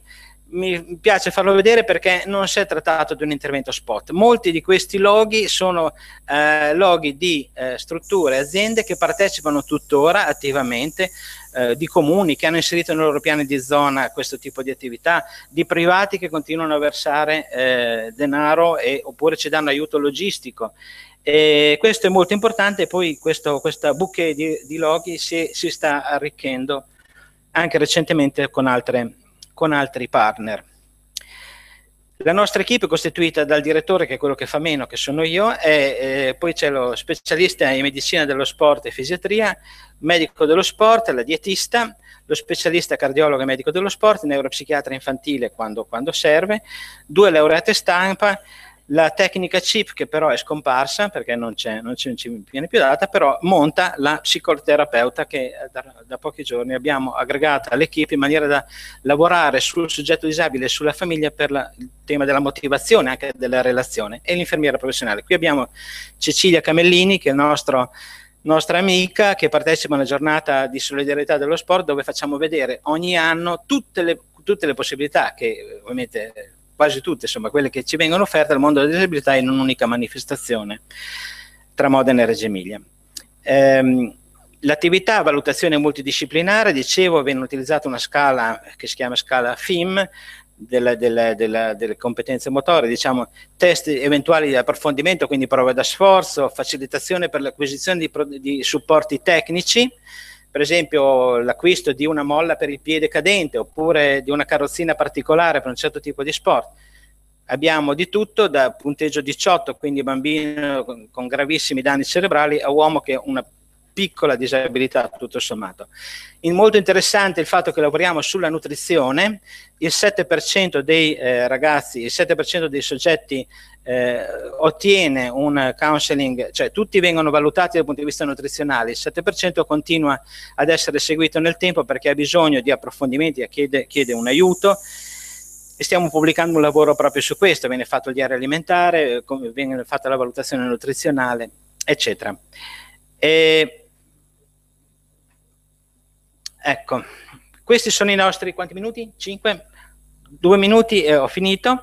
Eh, due minuti, poi volevo farvi vedere un piccolo film. Eh, eh, sì, sì, faccio, faccio, prestissimo. I numeri sono, sono questi. Eh, per il momento eh, stiamo lavorando con Reggio Emilia che partecipa al progetto soprattutto per il versante scolastico e con la stessa equip si distribuisce tra Modena e Reggio e spero che sia l'inizio di una di una permanente collaborazione di un'unità tra, tra, i due molto bene insieme.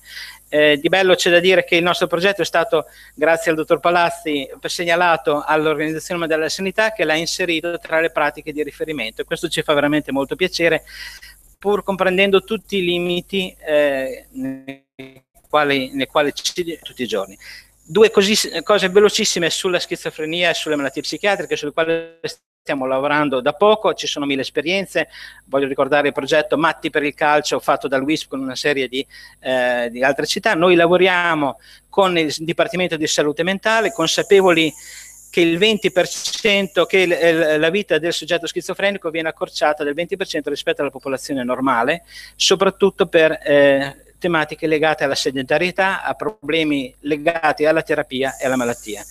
Eh, malattia coronarica molto più frequente, obesità, sindrome metabolica molto più frequente nella popolazione eh, con problematiche psichiatriche. Vado rapidamente avanti per farvi vedere, ehm, scusate, volevo far, proprio farvi vedere il film che è molto interessante. Questo è l'aumento di peso, è un grosso lavoro di eh, revisione fatto nel 2008 parla di questo aumento di circa 19-20 kg nei primi 48 mesi di malattia psichiatrica. Bisognerebbe riuscire a intervenire immediatamente con l'attività fisica sportiva perché questa non solo incidenza della, cellula metabolica e delle problematiche, ma aiuta dal punto di vista della riduzione dell'uso di farmaci, eh, miglioramento dell'autostima, capacità di relazione. E, ehm, mh, noi lo facciamo, abbiamo cominciato a fare questo tipo di attività, eh, qui abbiamo i nostri pazienti psichiatrici affetti da sindrome metabolica o diabete in palestra, sono in palestra nella medicina dello sport, li avviamo a una pratica sportiva e mettendoli poi in una rete successiva di palestre sicure che stanno lavorando con noi e devo dire non sarà pubblicato sui nostri pazienti, ha smesso di prendere i farmaci e attualmente è vice allenatore della società sportiva La Fratellanza ed è una grossissima soddisfazione perché insomma vuol dire che il meccanismo sarà uno solo però funziona. Eh, facciamo tante cose con le palestre, volevo soltanto farvi vedere alcune esperienze che vengono condotte sui bambini eh, insieme alla neuropsichiatria infantile, questi sono i quattro sport sui quali eh, lavora la neuropsichiatria anche, anche, insieme a noi, karate, eh, basket, i bambini hanno imparato a vestirsi, svestirsi da soli, giocare a basket, far parte di una squadra, hanno imparato a fare la doccia da soli con grandissima soddisfazione dei genitori. E, ehm, in più facciamo una serie di attività di innesco di, di percorsi positivi. Eh, bullying, bullying per ragazzi con problematiche psichiche che lavorano con noi, vengono da noi a fare la visita, li valutiamo, poi li inseriamo, gli facciamo fare bullying durante una determinata stagione e poi li, fa, li passiamo a nuoto dove possono fare il basket. Vedete i nostri sponsor. Tennis, questo è il torneo fatto domenica, 16 partecipanti tennis in carrozzina, carrozzine le abbiamo, siamo riusciti noi a trovare gli sponsor per, per pagarli, è anche bello perché c'è l'aspetto multirazziale che non fa, non fa male, calcio per disabili intellettivo relazionali, fatto insieme al Panatron e insieme si può, sempre dalla medicina dello sport, eh, stiamo iniziando un'attività in piscina con una palestra, con una piscina sicura, continuiamo con il calcio e, varie, e vari tipi di attività. Se mi consentite vi faccio vedere un filmato velocissimo di tre minuti su questa esperienza dell'hockey in carrozzina. Eh, noi collaboriamo con loro, li abbiamo, li abbiamo aiutati, eh, qua, e li stiamo aiutando tuttora, eh, collaboriamo con le famiglie, creiamo, aiutiamo anche a creare una situazione logistica che consenta... Si sente l'audio?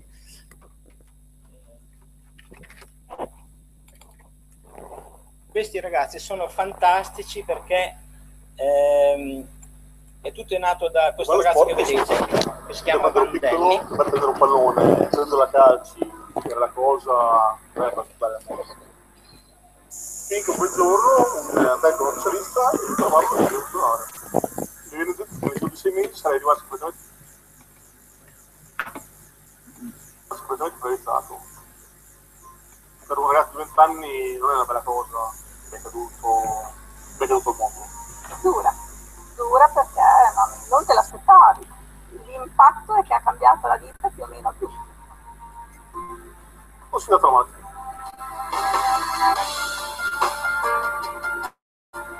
Questo Lorenzo Mandelli è un ragazzo che è contato distrofico 20 anni Lorenzo ha avuto molto più tempo per stare a casa e tramite internet ha scoperto che esiste il Witch Rocket. Nella sua testa da subito c'è stata una, un'idea. Io devo fare la mia squadra Modena. Conoscendo tante ragazze a Modena che avevano mille problemi, erano sempre in casa, ho pensato che andare a una squadra anche Modena di hockey potesse essere utile non solo a me ma che altri non siamo solo una squadra che fa le partite, fa gli allenamenti, ma siamo un bel gruppo di, di amici. Una squadra è come la famiglia, cioè ci si aiuta. La squadra, il gioco, per lui è diventata quasi una cosa indispensabile. Nella squadra lui non ha una diversità, siamo noi diversi, perché lui è nel suo mondo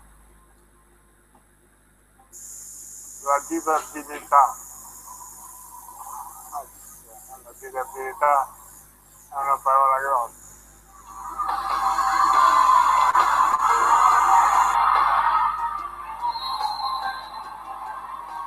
È un compagno di viaggio, una situazione, è una condizione, è...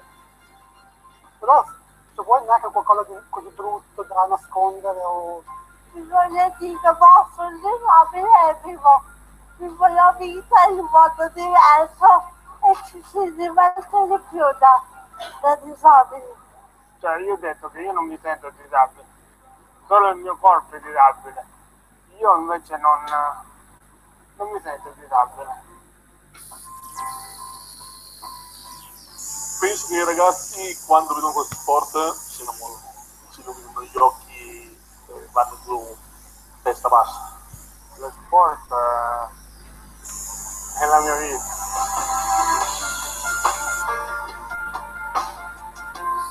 Mi piace troppo, non posso cambiarlo, cioè sono troppo legato.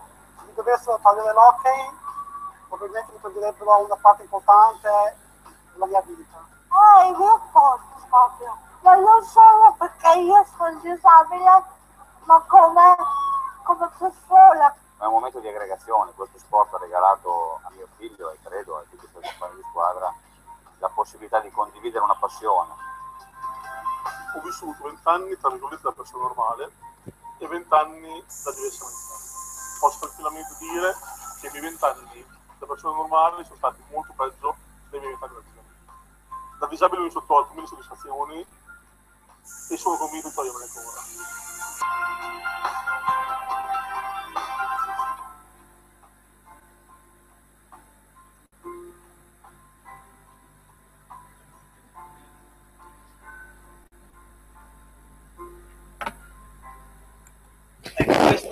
Soltanto per far vedere, fa parte di un uh, film di 110 minuti, quindi un po' lungo, dove c'è un po' la storia dei ragazzi. Sono ragazzi, pensate, sono messi in due o tre ai supermercati, aspettavano l'arrivo di altri disabili al supermercato, li hanno messi insieme, e c'è di tutto, è quello che una volta si sarebbe definito una corte dei miracoli, due o tre muoiono ogni anno, ne abbiamo, e però se ne aggiungono tre o quattro, adesso ci sono 25 ragazzi che fanno questa attività in carrozzina, carrozzine del costo di 14.000-16.000 euro. Circa, mettendo insieme questa cosa li abbiamo aiutati, ci aiutano anche loro a capire molte cose, la, la relazione con i familiari è una cosa strepitosa da questo punto di vista, ci aiuta moltissimo a capire cosa, cosa poter fare, come puoi intervenire per anche aiutare e motivare chi eh, sta a casa in un percorso frigo, televisore, letto e cercare di portarli, guarda che tu puoi fare qualche cosa, questa è una cosa molto, molto importante. Eh, non, non, non, migliorerà le abilità residue, ma sicuramente la salute mentale de, della persona, ma dell'intera comunità c'è. Ho finito? Eh, niente, vi ringrazio tantissimo dell'attenzione, insomma, questo si può fare.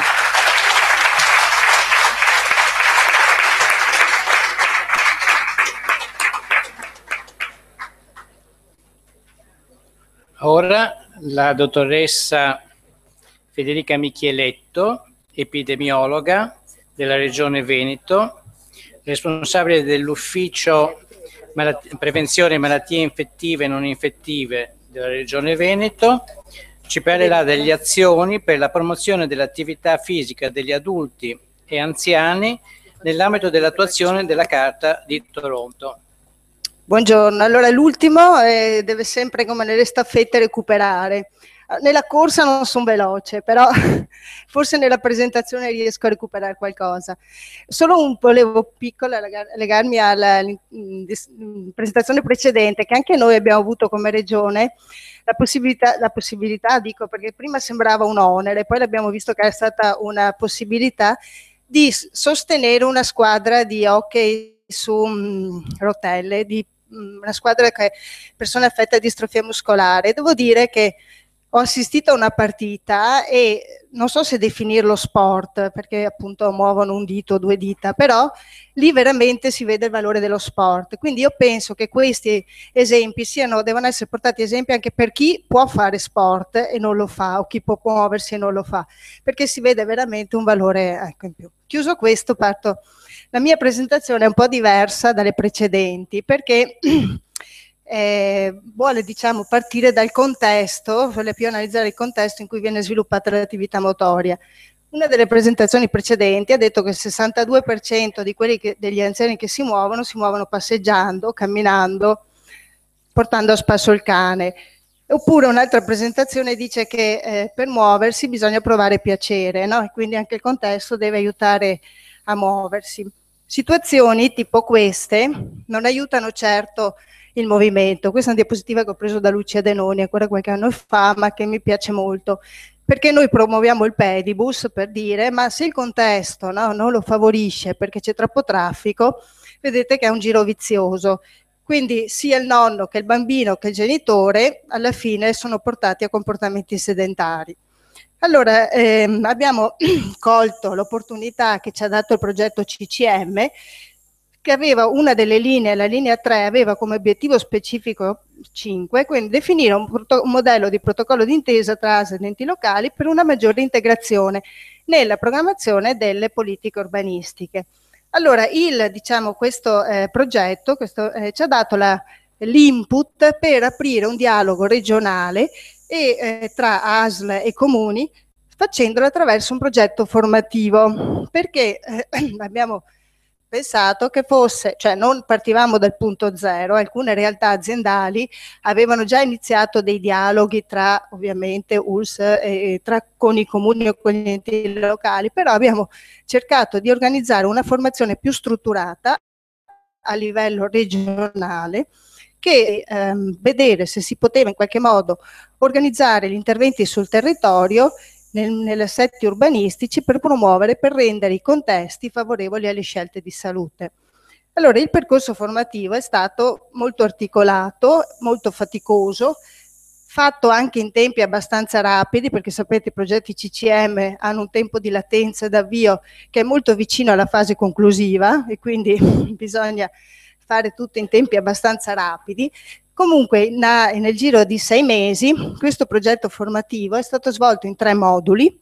Il primo modulo aveva come obiettivo quello di eh, di trasferire competenze al personale sanitario perché fossero in grado di definire quali erano le alleanze migliori e come, eh, come costruire queste alleanze migliori col territorio. È stato fatto, ehm, beh, dopo lo vediamo, il secondo modulo invece, vado più veloce, è stato l'obiettivo principale quello di definire, di rendere capace lavorare, eh, sempre il personale sanitario, di lavorare in rete, ed è stato allargato degli enti dei comuni. Il terzo modulo invece era un modulo molto pratico, quindi una volta che erano state acquisite competenze del personale sanitario per costruire alleanze, per lavorare in rete, vedere in un'interazione col personale tecnico dei comuni come, era possibile modificare l'ambiente e quale realtà, in quale realtà era già stato fatto. Allora, diciamo, il primo modulo ha avuto due edizioni e abbiamo coinvolto i destinatari dipartimenti di prevenzione.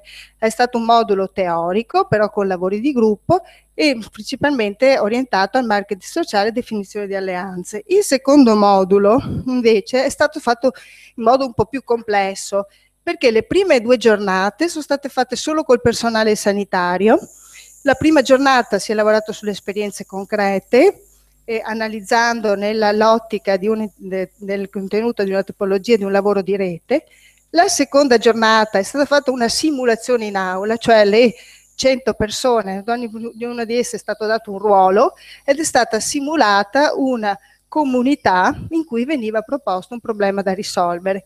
Il terzo, e quindi era come una prova generale, il terzo modulo è stato aperto al personale dei comuni che sono trovati quindi in, uno in, in un confronto reale tra eh, personale dei comuni e personale delle ULS. Il terzo modulo, quello più complesso, perché è stato fatto in tre edizioni, perché teneva conto della, della, della, diciamo, della realtà in cui veniva svolto, quindi sono state divise le province venete, perché venivano sia analizzate dal punto di vista teorico in, co in collaborazione con l'Università di Venezia, architettura, le possibilità di eh, interagire nel territorio, ma poi venivano analizzate in una tavola rotonda proprio quegli esempi di modifiche del PAT e quindi delle modifiche del territorio che hanno agevolato scelte eh, salutari. Allora, fatto così, diciamo, l'architettura è complessa, è stata pensata nei diciamo, buoni dettagli, però forse aveva alcuni limiti. Intanto era complessa, Beh, poi ci siamo resi conto alla fine del percorso che è stata una cosa ehm, anche diciamo difficile da spiegare anche dei, agli stessi direttori dei dipartimenti eh, qual era l'architettura dietro questo disegno, perché si voleva i primi due moduli solo gli operatori sanitari che però interagivano al terzo modulo con alcuni operatori dei comuni, ma principalmente assessori e sindaci. Il secondo modulo vedeva gli operatori di dipartimento di prevenzione, personale comune e interagiva con alcune persone del terzo modulo perché al personale, diciamo agli amministratori comunali venivano aggiunti il personale tecnico dei comuni, quello che eh, si occupava degli aspetti urbanistici. Quindi diciamo un'architettura teoricamente che funzionava bene, ha avuto un punteggio altissimo, quindi grandissima soddisfazione da parte dei partecipanti, Quasi tutte le ULS hanno partecipato, 31 comuni, 200 persone formate, sono, siamo riusciti a portare ben 53 persone dei comuni, di cui 9 assessori, 6 sindaci, 34 tecnici dell'urbanistica, questo grazie alle ULS che hanno chiesto la, la collaborazione di personale con cui bene o male già avevano una relazione, questo è un limite e docenti di diverse preparazioni, quindi dell'università, docenti sanitari, docenti dei comuni, docenti... quindi l'architettura era complessa e diciamo il progetto formativo nel suo insieme buono, però ha avuto dei limiti e questi li dobbiamo riconoscere.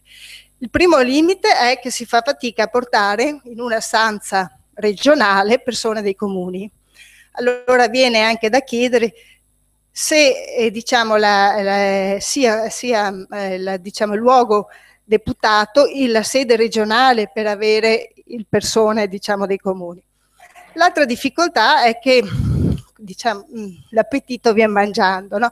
Quando si comincia a vedere nuove tecniche, di, con, si, si, capisce sia i propri limiti, no? soprattutto del personale sanitario che è abituato a un certo tipo di attività, sia la voglia quindi di acquisire maggiori competenze. Si ritiene che ehm, questo, diciamo, questo punto di partenza possa aprire nuovi sviluppi.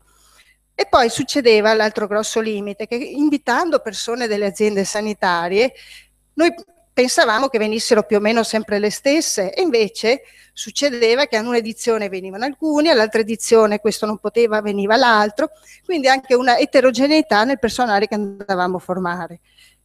Quindi lo sforzo ci è sembrato forse ehm, troppo smisurato quindi alle nostre attese, per cui abbiamo pensato, e questo penso che sia la, la scelta adesso, staremo a vedere, ma quella che forse ci può dare maggiori soddisfazioni e maggiore, eh, commisurate insomma l'impegno, è quella di avere intanto un gruppo da formare, quindi un gruppo che chiamiamolo Guadagnare Salute, comunque un gruppo di persone che è stato nominato con nota del direttore generale a cui compete un budget, c'è un referente coordinatore e dei compiti ed è queste le persone su cui noi adesso dobbiamo rivolgere la formazione, altrimenti rischiamo di eh, distribuire competenze senza avere un mandato, che non hanno poi un mandato ufficiale.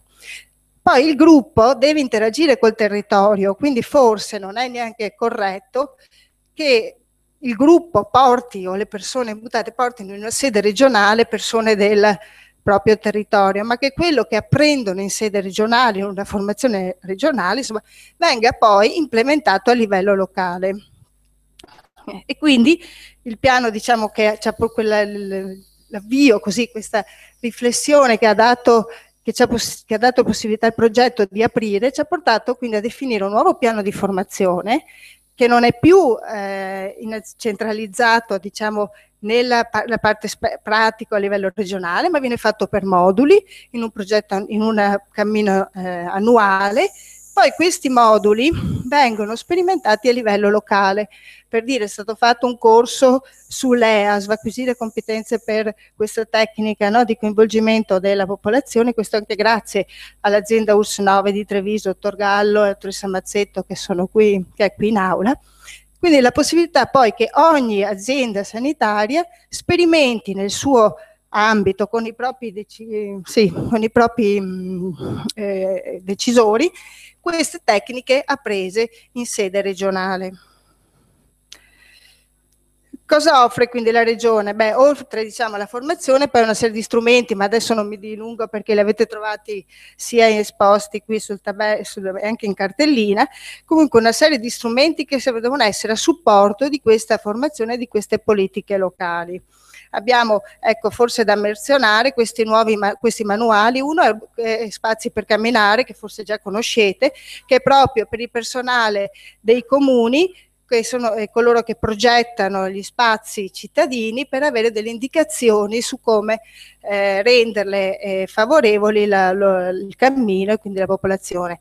Adesso sta per uscire un nuovo libro, che è da poco, che è Spazi Verde da Vivere, una risorsa per la salute urba urbana, che sono strumenti che possono essere in mano al personale dei comuni, ma se non c'è eh, dietro una formazione e anche un nostro, siamo come eh, personale sanitario, stilizzarli, rimangono eh, strumenti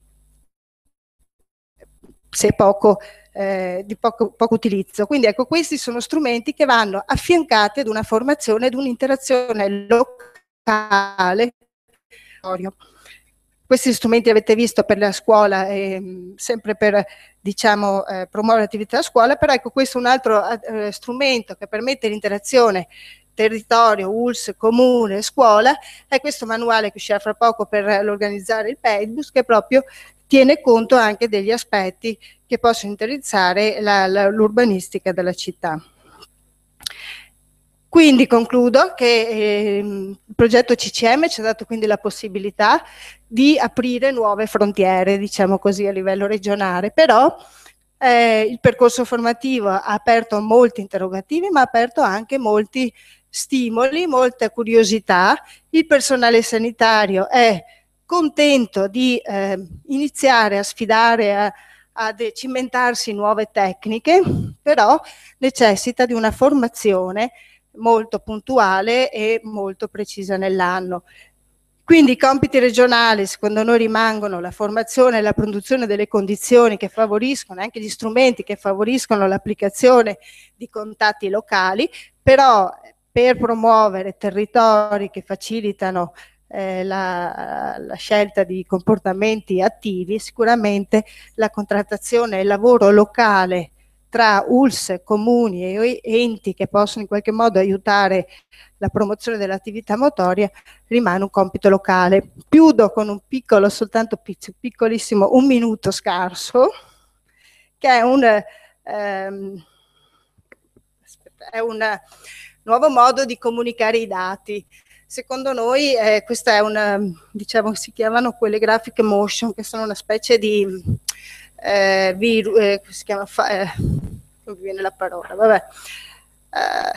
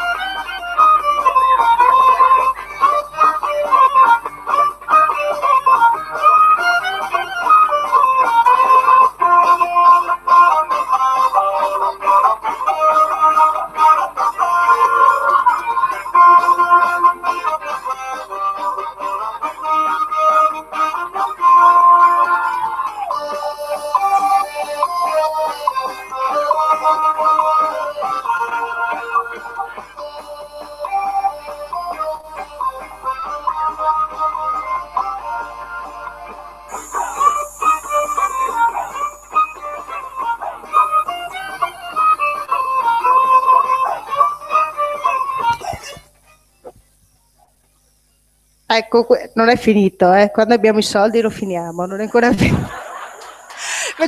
Però è un modo che si vede l'interazione tra mondo della scuola, persone, ah, fra poco lo finiamo, appena fin- troviamo il finanziamento. Grazie.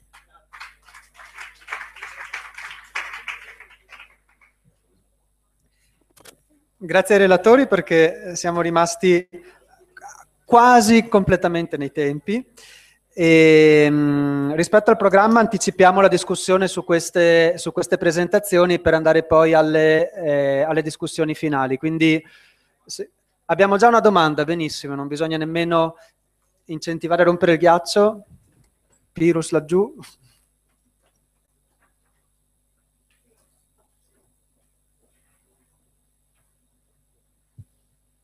Grazie, Fatemo Gadam provincia di Trento.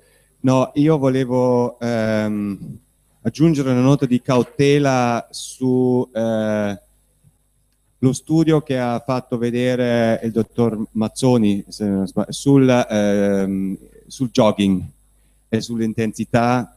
E, ehm, questo studio ha avuto anche un, uh, un risalto abbastanza nei, nei media e, ehm, e, per questo poi è stato anche sotto scrutinio, diciamo, da, da Ora, come eh, forse avete notato, eh, sì, di attività, e quindi quella, quella, del jogging intenso più di 4 ore, e eh, percentuali eh, calcolati si basano su 16, su 16 casi, su 16 morti, e nella seconda sono 5.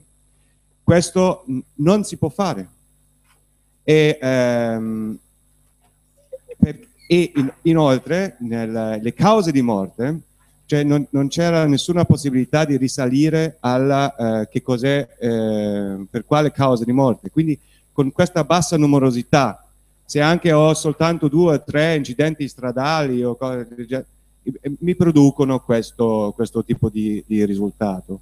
Quindi cosa è stato poi dalla, dalla, ehm, dibattito scientifico che è stato, si è svolto soprattutto, nel, almeno io sono a conoscenza di quello del Regno Unito, dove c'è un, un, laboratorio di statistica dell'Università di Cambridge, è una unità eh, del Public Understanding of Risk che si uh, preoccupa di come dire, diffondere una competenza in salute, una competenza un po' statistica nella, nella popolazione.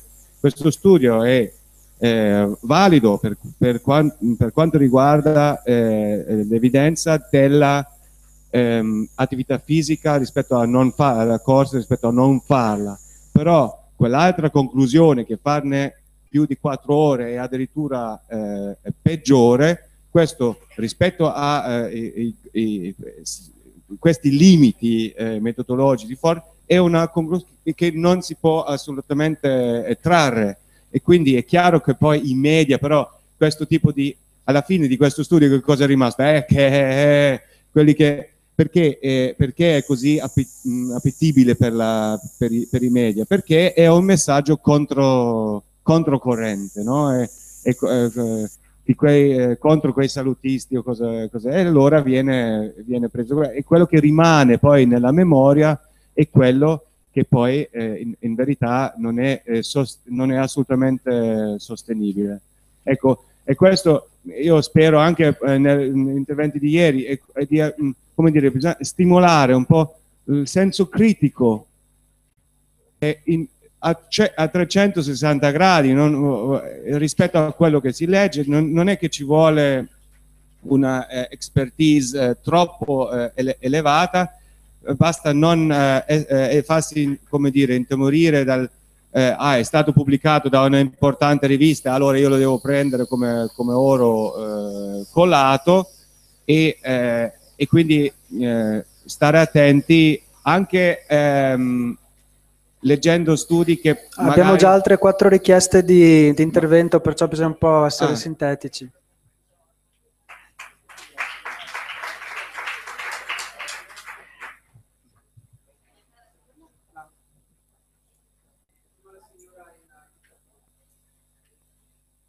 Buonasera a tutti, sono Anna Maria Vacri, vengo dalla Regione Pubblica di Udine. Ai colleghi della Regione Emilia-Romagna, poi chi vuole mi può rispondere, Vorrei sapere a proposito di attività fisica anziana, eh, visto il bellissimo lavoro che avevano fatto negli anni scorsi sul protocollo TAGO, a che punto è eh, la, così, lo stato dell'arte in Emilia Romagna e questo tipo di, di, che altri risultati ci sono e così sapere un po' eh, come è evoluto il progetto. Grazie. Eh, Monica Tiberi Asur Marche Area Vasta 2, io mh, mm, chiedo a Gianni Mazzoni eh, un'ulteriore conferma come messaggio positivo, sempre anche in riferimento a quello che diceva Pirus, perché questo articolo è stato molto discusso e anche abbastanza utilizzato. E allora il messaggio positivo che noi possiamo portarci a casa, ti chiedo conferma, è questo le linee guida dicono che eh, sarebbe meglio praticare, sarebbe bene praticare per la salute almeno 150 minuti di attività fisica a intensità moderata o almeno 75 minuti di attività fisica intensa. Però ulteriori effetti benefici si possono raggiungere soprattutto per il controllo del colesterolo e per il controllo della pressione anche incrementando l'attività fisica a, fino a 300 minuti di attività fisica di intensità moderata e 150 minuti di intensità fisica vigorosa e mi sembra che nello studio la conferma c'è che però fino a questa intensità gli effetti sono positivi, ok? Sì, mi confermi?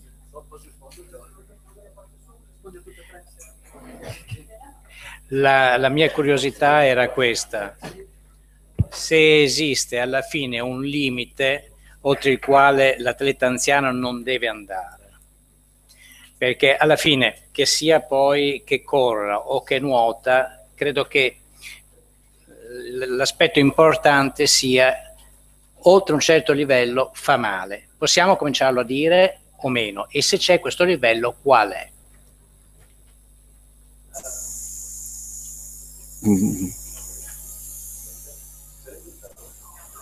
Ho spento? Ecco.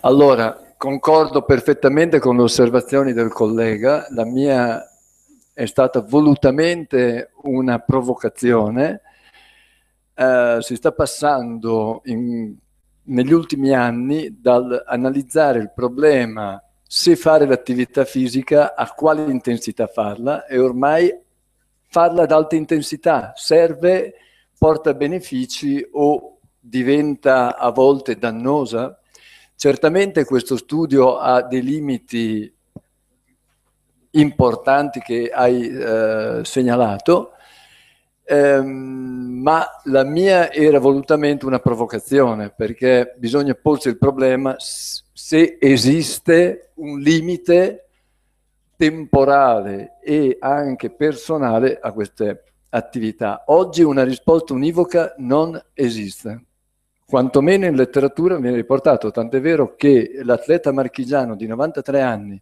che ha battuto tu, 98, che ha battuto tutti i record, il centenario che ha fatto... Vi dico una cosa, che se prendiamo i tempi dei vincitori delle Olimpiadi del 1896 di Atene e li paragoniamo con i tempi degli atleti master di oggi, la media dell'età di 70 anni avrebbero vinto tutte le età della media di età di 19 anni di Olimpia. Sono 100, in 100 anni si sono fatte eh, un percorso incredibile. Veloce che, che uh, la, la città è stata difficile. Bisognerebbe fare, fare meglio queste cose, poi oggi ormai il messaggio che la comunità faccia bene, il messaggio per non parlare poi di tutti i prodigi in tutti gli altri campi, da quello neurologico a quello uh, comportamentale, a quello delle capacità cognitive che hanno queste persone. Eh,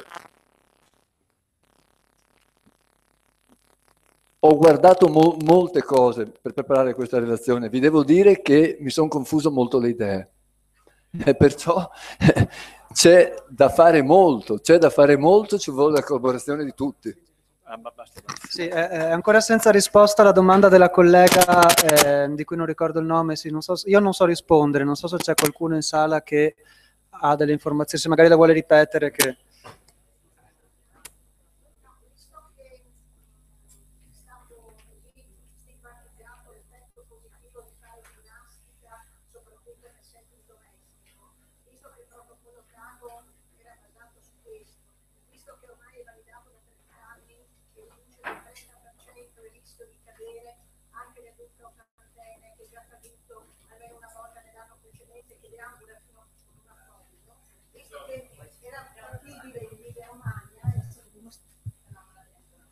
Devo ripetere tutto? Sì.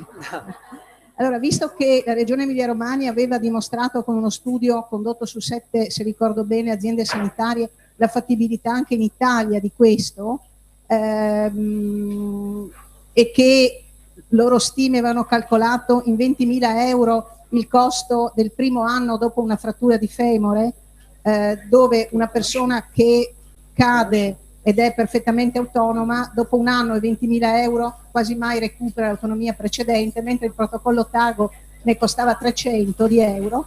Volevo sapere a che punto era, eh, cioè se è una pratica ormai in uso corrente, eh, perché no, non ho, ho, avuto più notizie di questa, di questa cosa. Grazie.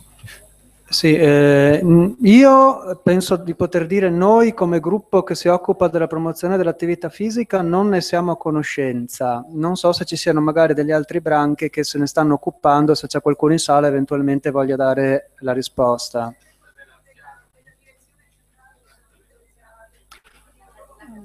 Sì, c'è il programma sulla, sulla, sulle cadute degli anziani che è nel piano regionale della prevenzione e che continua ad andare avanti. Non so se coincida esattamente con questo protocollo perché non me ne sono mai occupato personalmente, però mi dicono, vedo dalla platea che dicono, che dicono di sì.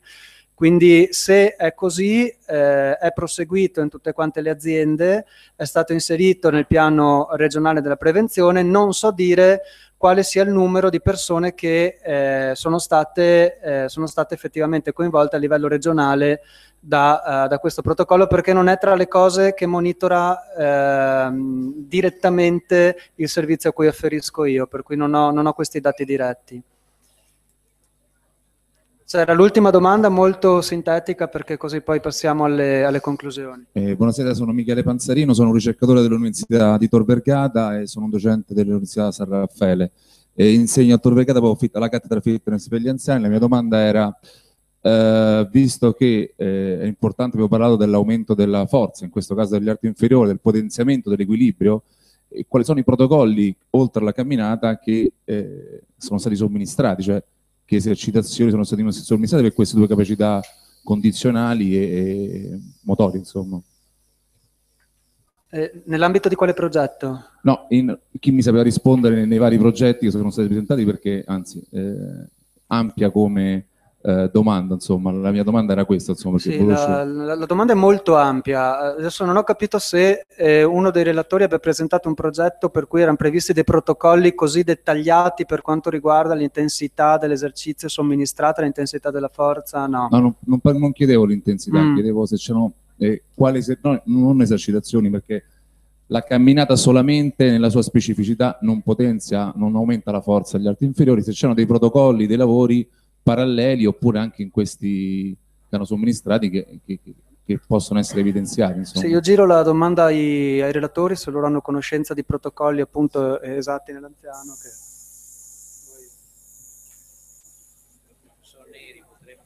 Sì. Eh, non rispondo, nel senso che eh, nello studio SEEDS eh, che ho citato prima eh, c'era un'attività di tipo allenante fatta con le ciclette, però eh, l'indicatore non era la forza ma la VO2 max che veniva programmata con degli incrementi legati rispetto alla, alla fase iniziale e tutto il resto, però non veniva misurata la eh, forza fisica elementare né eh, isometrica né isotonica, eccetera.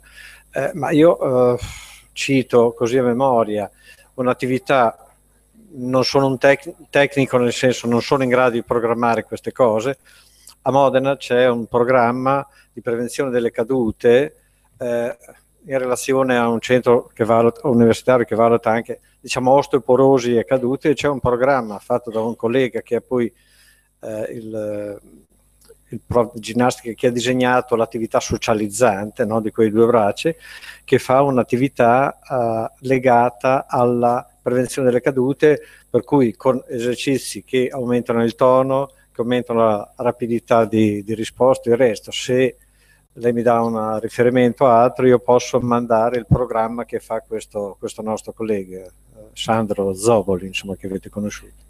Posso fare un piccolo, pic, proprio velocissima, professore, mio suocero fa ginnastica tutti i giorni perché, guardando un programma televisivo per anziani, perché è una di quelle che fanno uh, liscio, no?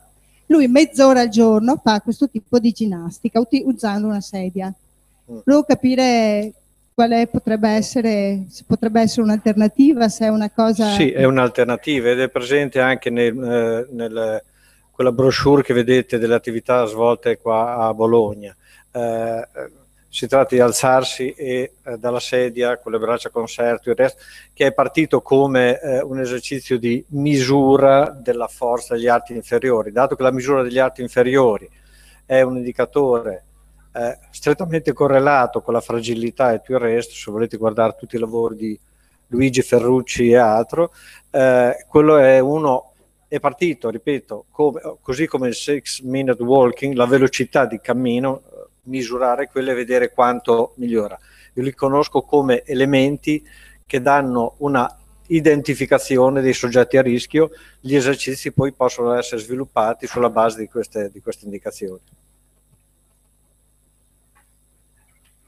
Grazie, direi che così chiudiamo la sessione e andiamo avanti per le conclusioni del convegno.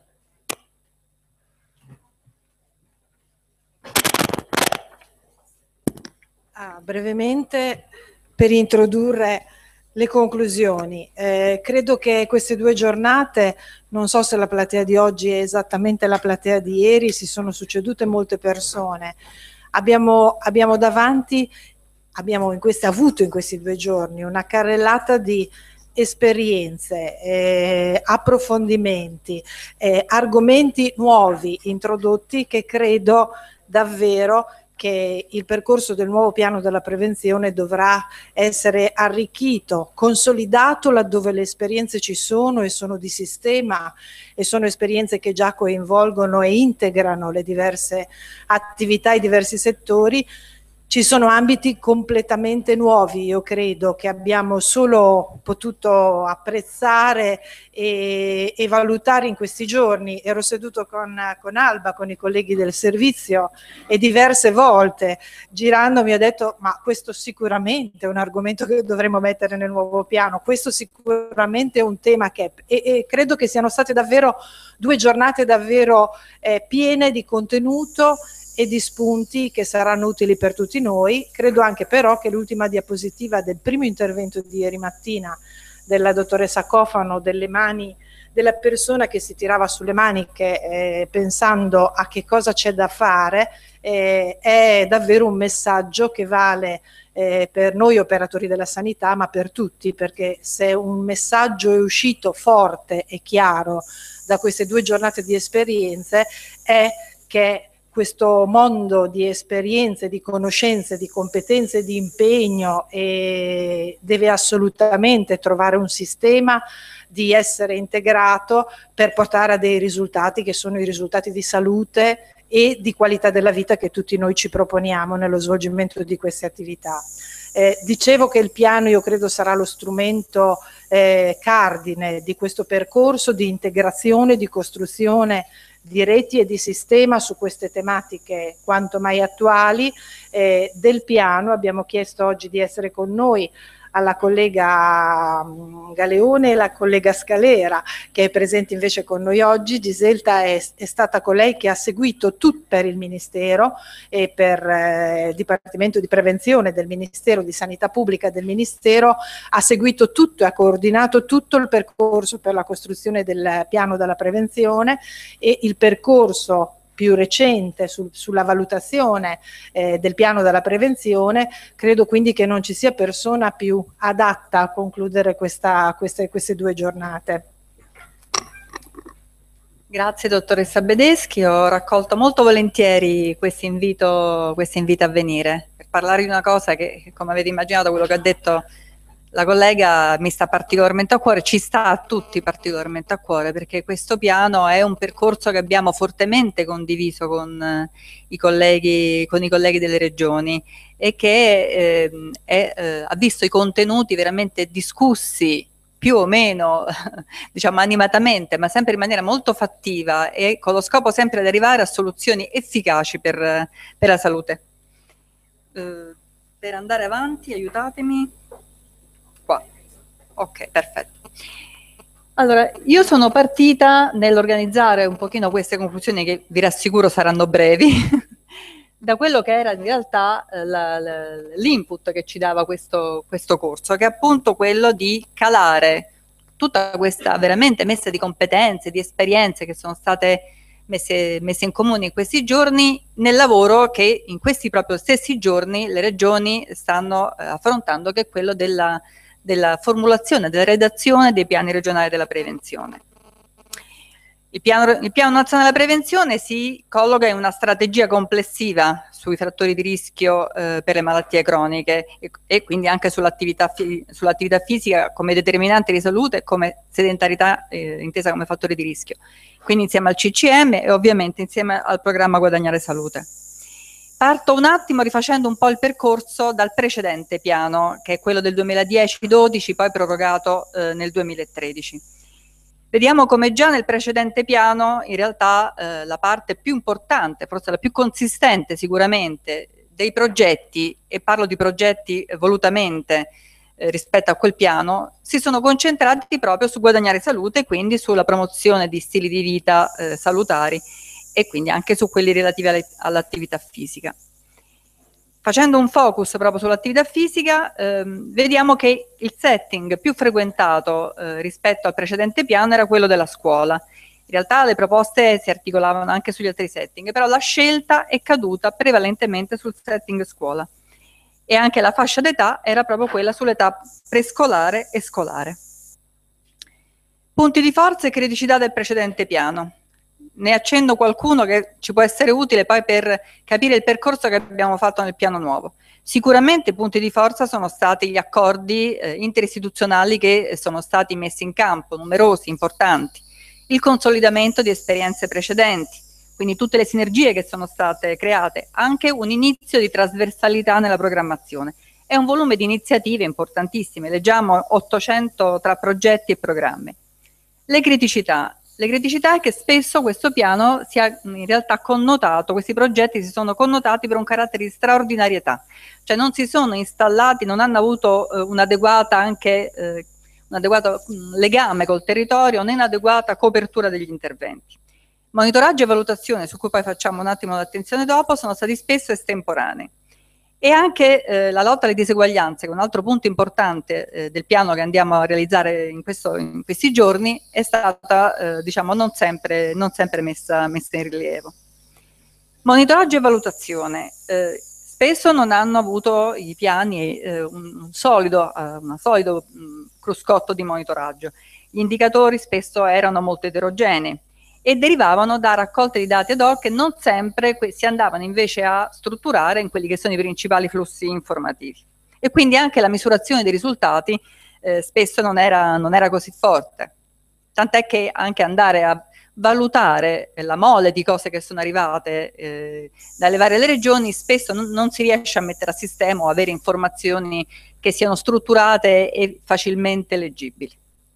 Il nuovo piano. Il nuovo piano si è basato su una serie di, di principi che sono ovviamente quelli della promozione della salute, della lotta alle diseguaglianze, che è un altro punto importante sul quale fortemente abbiamo insistito eh, nel nuovo piano, sul potenziamento dei sistemi di sorveglianza, che vedremo non è solamente una raccomandazione, ma diventa strumento vero di lavoro nel nuovo piano, sulle, la, la, ovviamente la, la prioritizzazione degli interventi basati sull'efficacia, sull'intersettorialità, ma questo è un discorso già avviato col precedente piano, e poi delle priorità che sono ovviamente ridurre il carico di malattia, un forte investimento sulle giovani generazioni che attraversa trasversalmente gran parte del, dei macro obiettivi di questo piano, e poi eh, anche in questo caso lo ribadiamo, mettere, rafforzare l'attenzione sui gruppi fragili.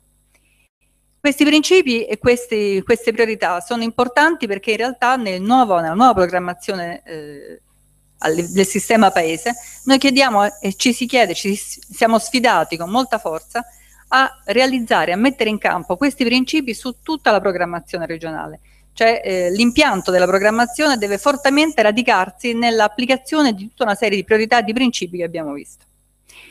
Qual è eh, diciamo, il percorso, l'impianto generale del piano? Ovviamente l'individuazione di 10 macro obiettivi. Eh, questi 10 macro obiettivi sono validi su tutto il territorio nazionale e sono tutti eh, da mettere, eh, da realizzare in tutta la programmazione. Quindi l'identificazione dei fattori di rischio e de dei determinanti, l'individuazione di eh, obiettivi centrali, se non ricordo male sono circa una sessantina di obiettivi centrali per tutti i, i dieci macro obiettivi, accompagnati dai relativi eh, indicatori, indicatori che sono oltre 100 e quindi anche dagli standard.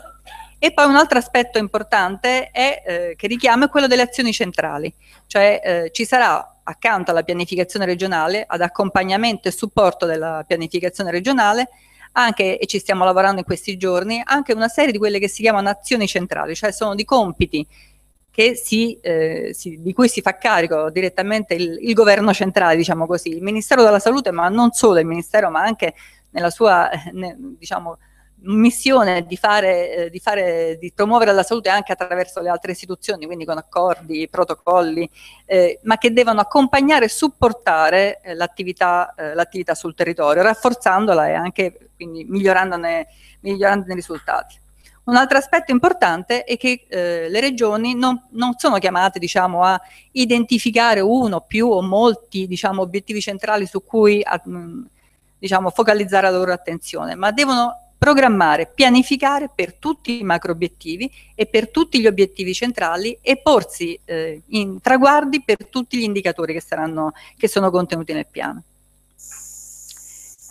Questa è la struttura del piano nazionale della prevenzione, da cui poi discende quello dei piani regionali della prevenzione, quindi macro obiettivi, fattori di rischio, le strategie, che sono le strategie eh, nazionali importanti eh, per questi fattori di rischio, obiettivi centrali e indicatori, che si declinano poi a livello regionale nei relativi obiettivi specifici, popolazione target, programmi, indicatori anche regionali della pianificazione regionale, standard regionali.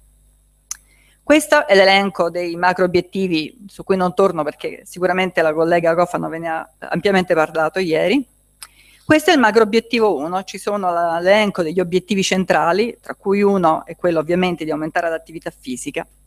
Entro solo un minuto eh, in questo macro obiettivo 1 perché eh, mi interessa eh, valorizzare eh, alcuni aspetti che devono essere eh, messi in campo e realizzati nella pianificazione regionale ed è in particolar modo sulle eh, strategie. Le strategie attraversano tutti i setting, cioè siamo chiamati a lavorare su tutti i setting, scuola, lavoro, territorio, a lavorare su tutto il percorso della vita, quindi lavorando su tutto il ciclo di vita, lavorare in modo intersettoriale. E come vedete è attraversato il tutto dalle sorveglianze che come dicevo prima diventano proprio uno strumento di lavoro perché sono lo strumento attraverso il quale noi valuteremo no i risultati della nostra, della nostra, attività. E questo vale sia per la, eh, i fattori di rischio modificabili sia per quelli che chiamiamo fattori di rischio intermedi, quindi strategie di comunità, strategie basate sull'individuo che invece sono quelle eh, della individuazione precoce, prevalentemente del counseling.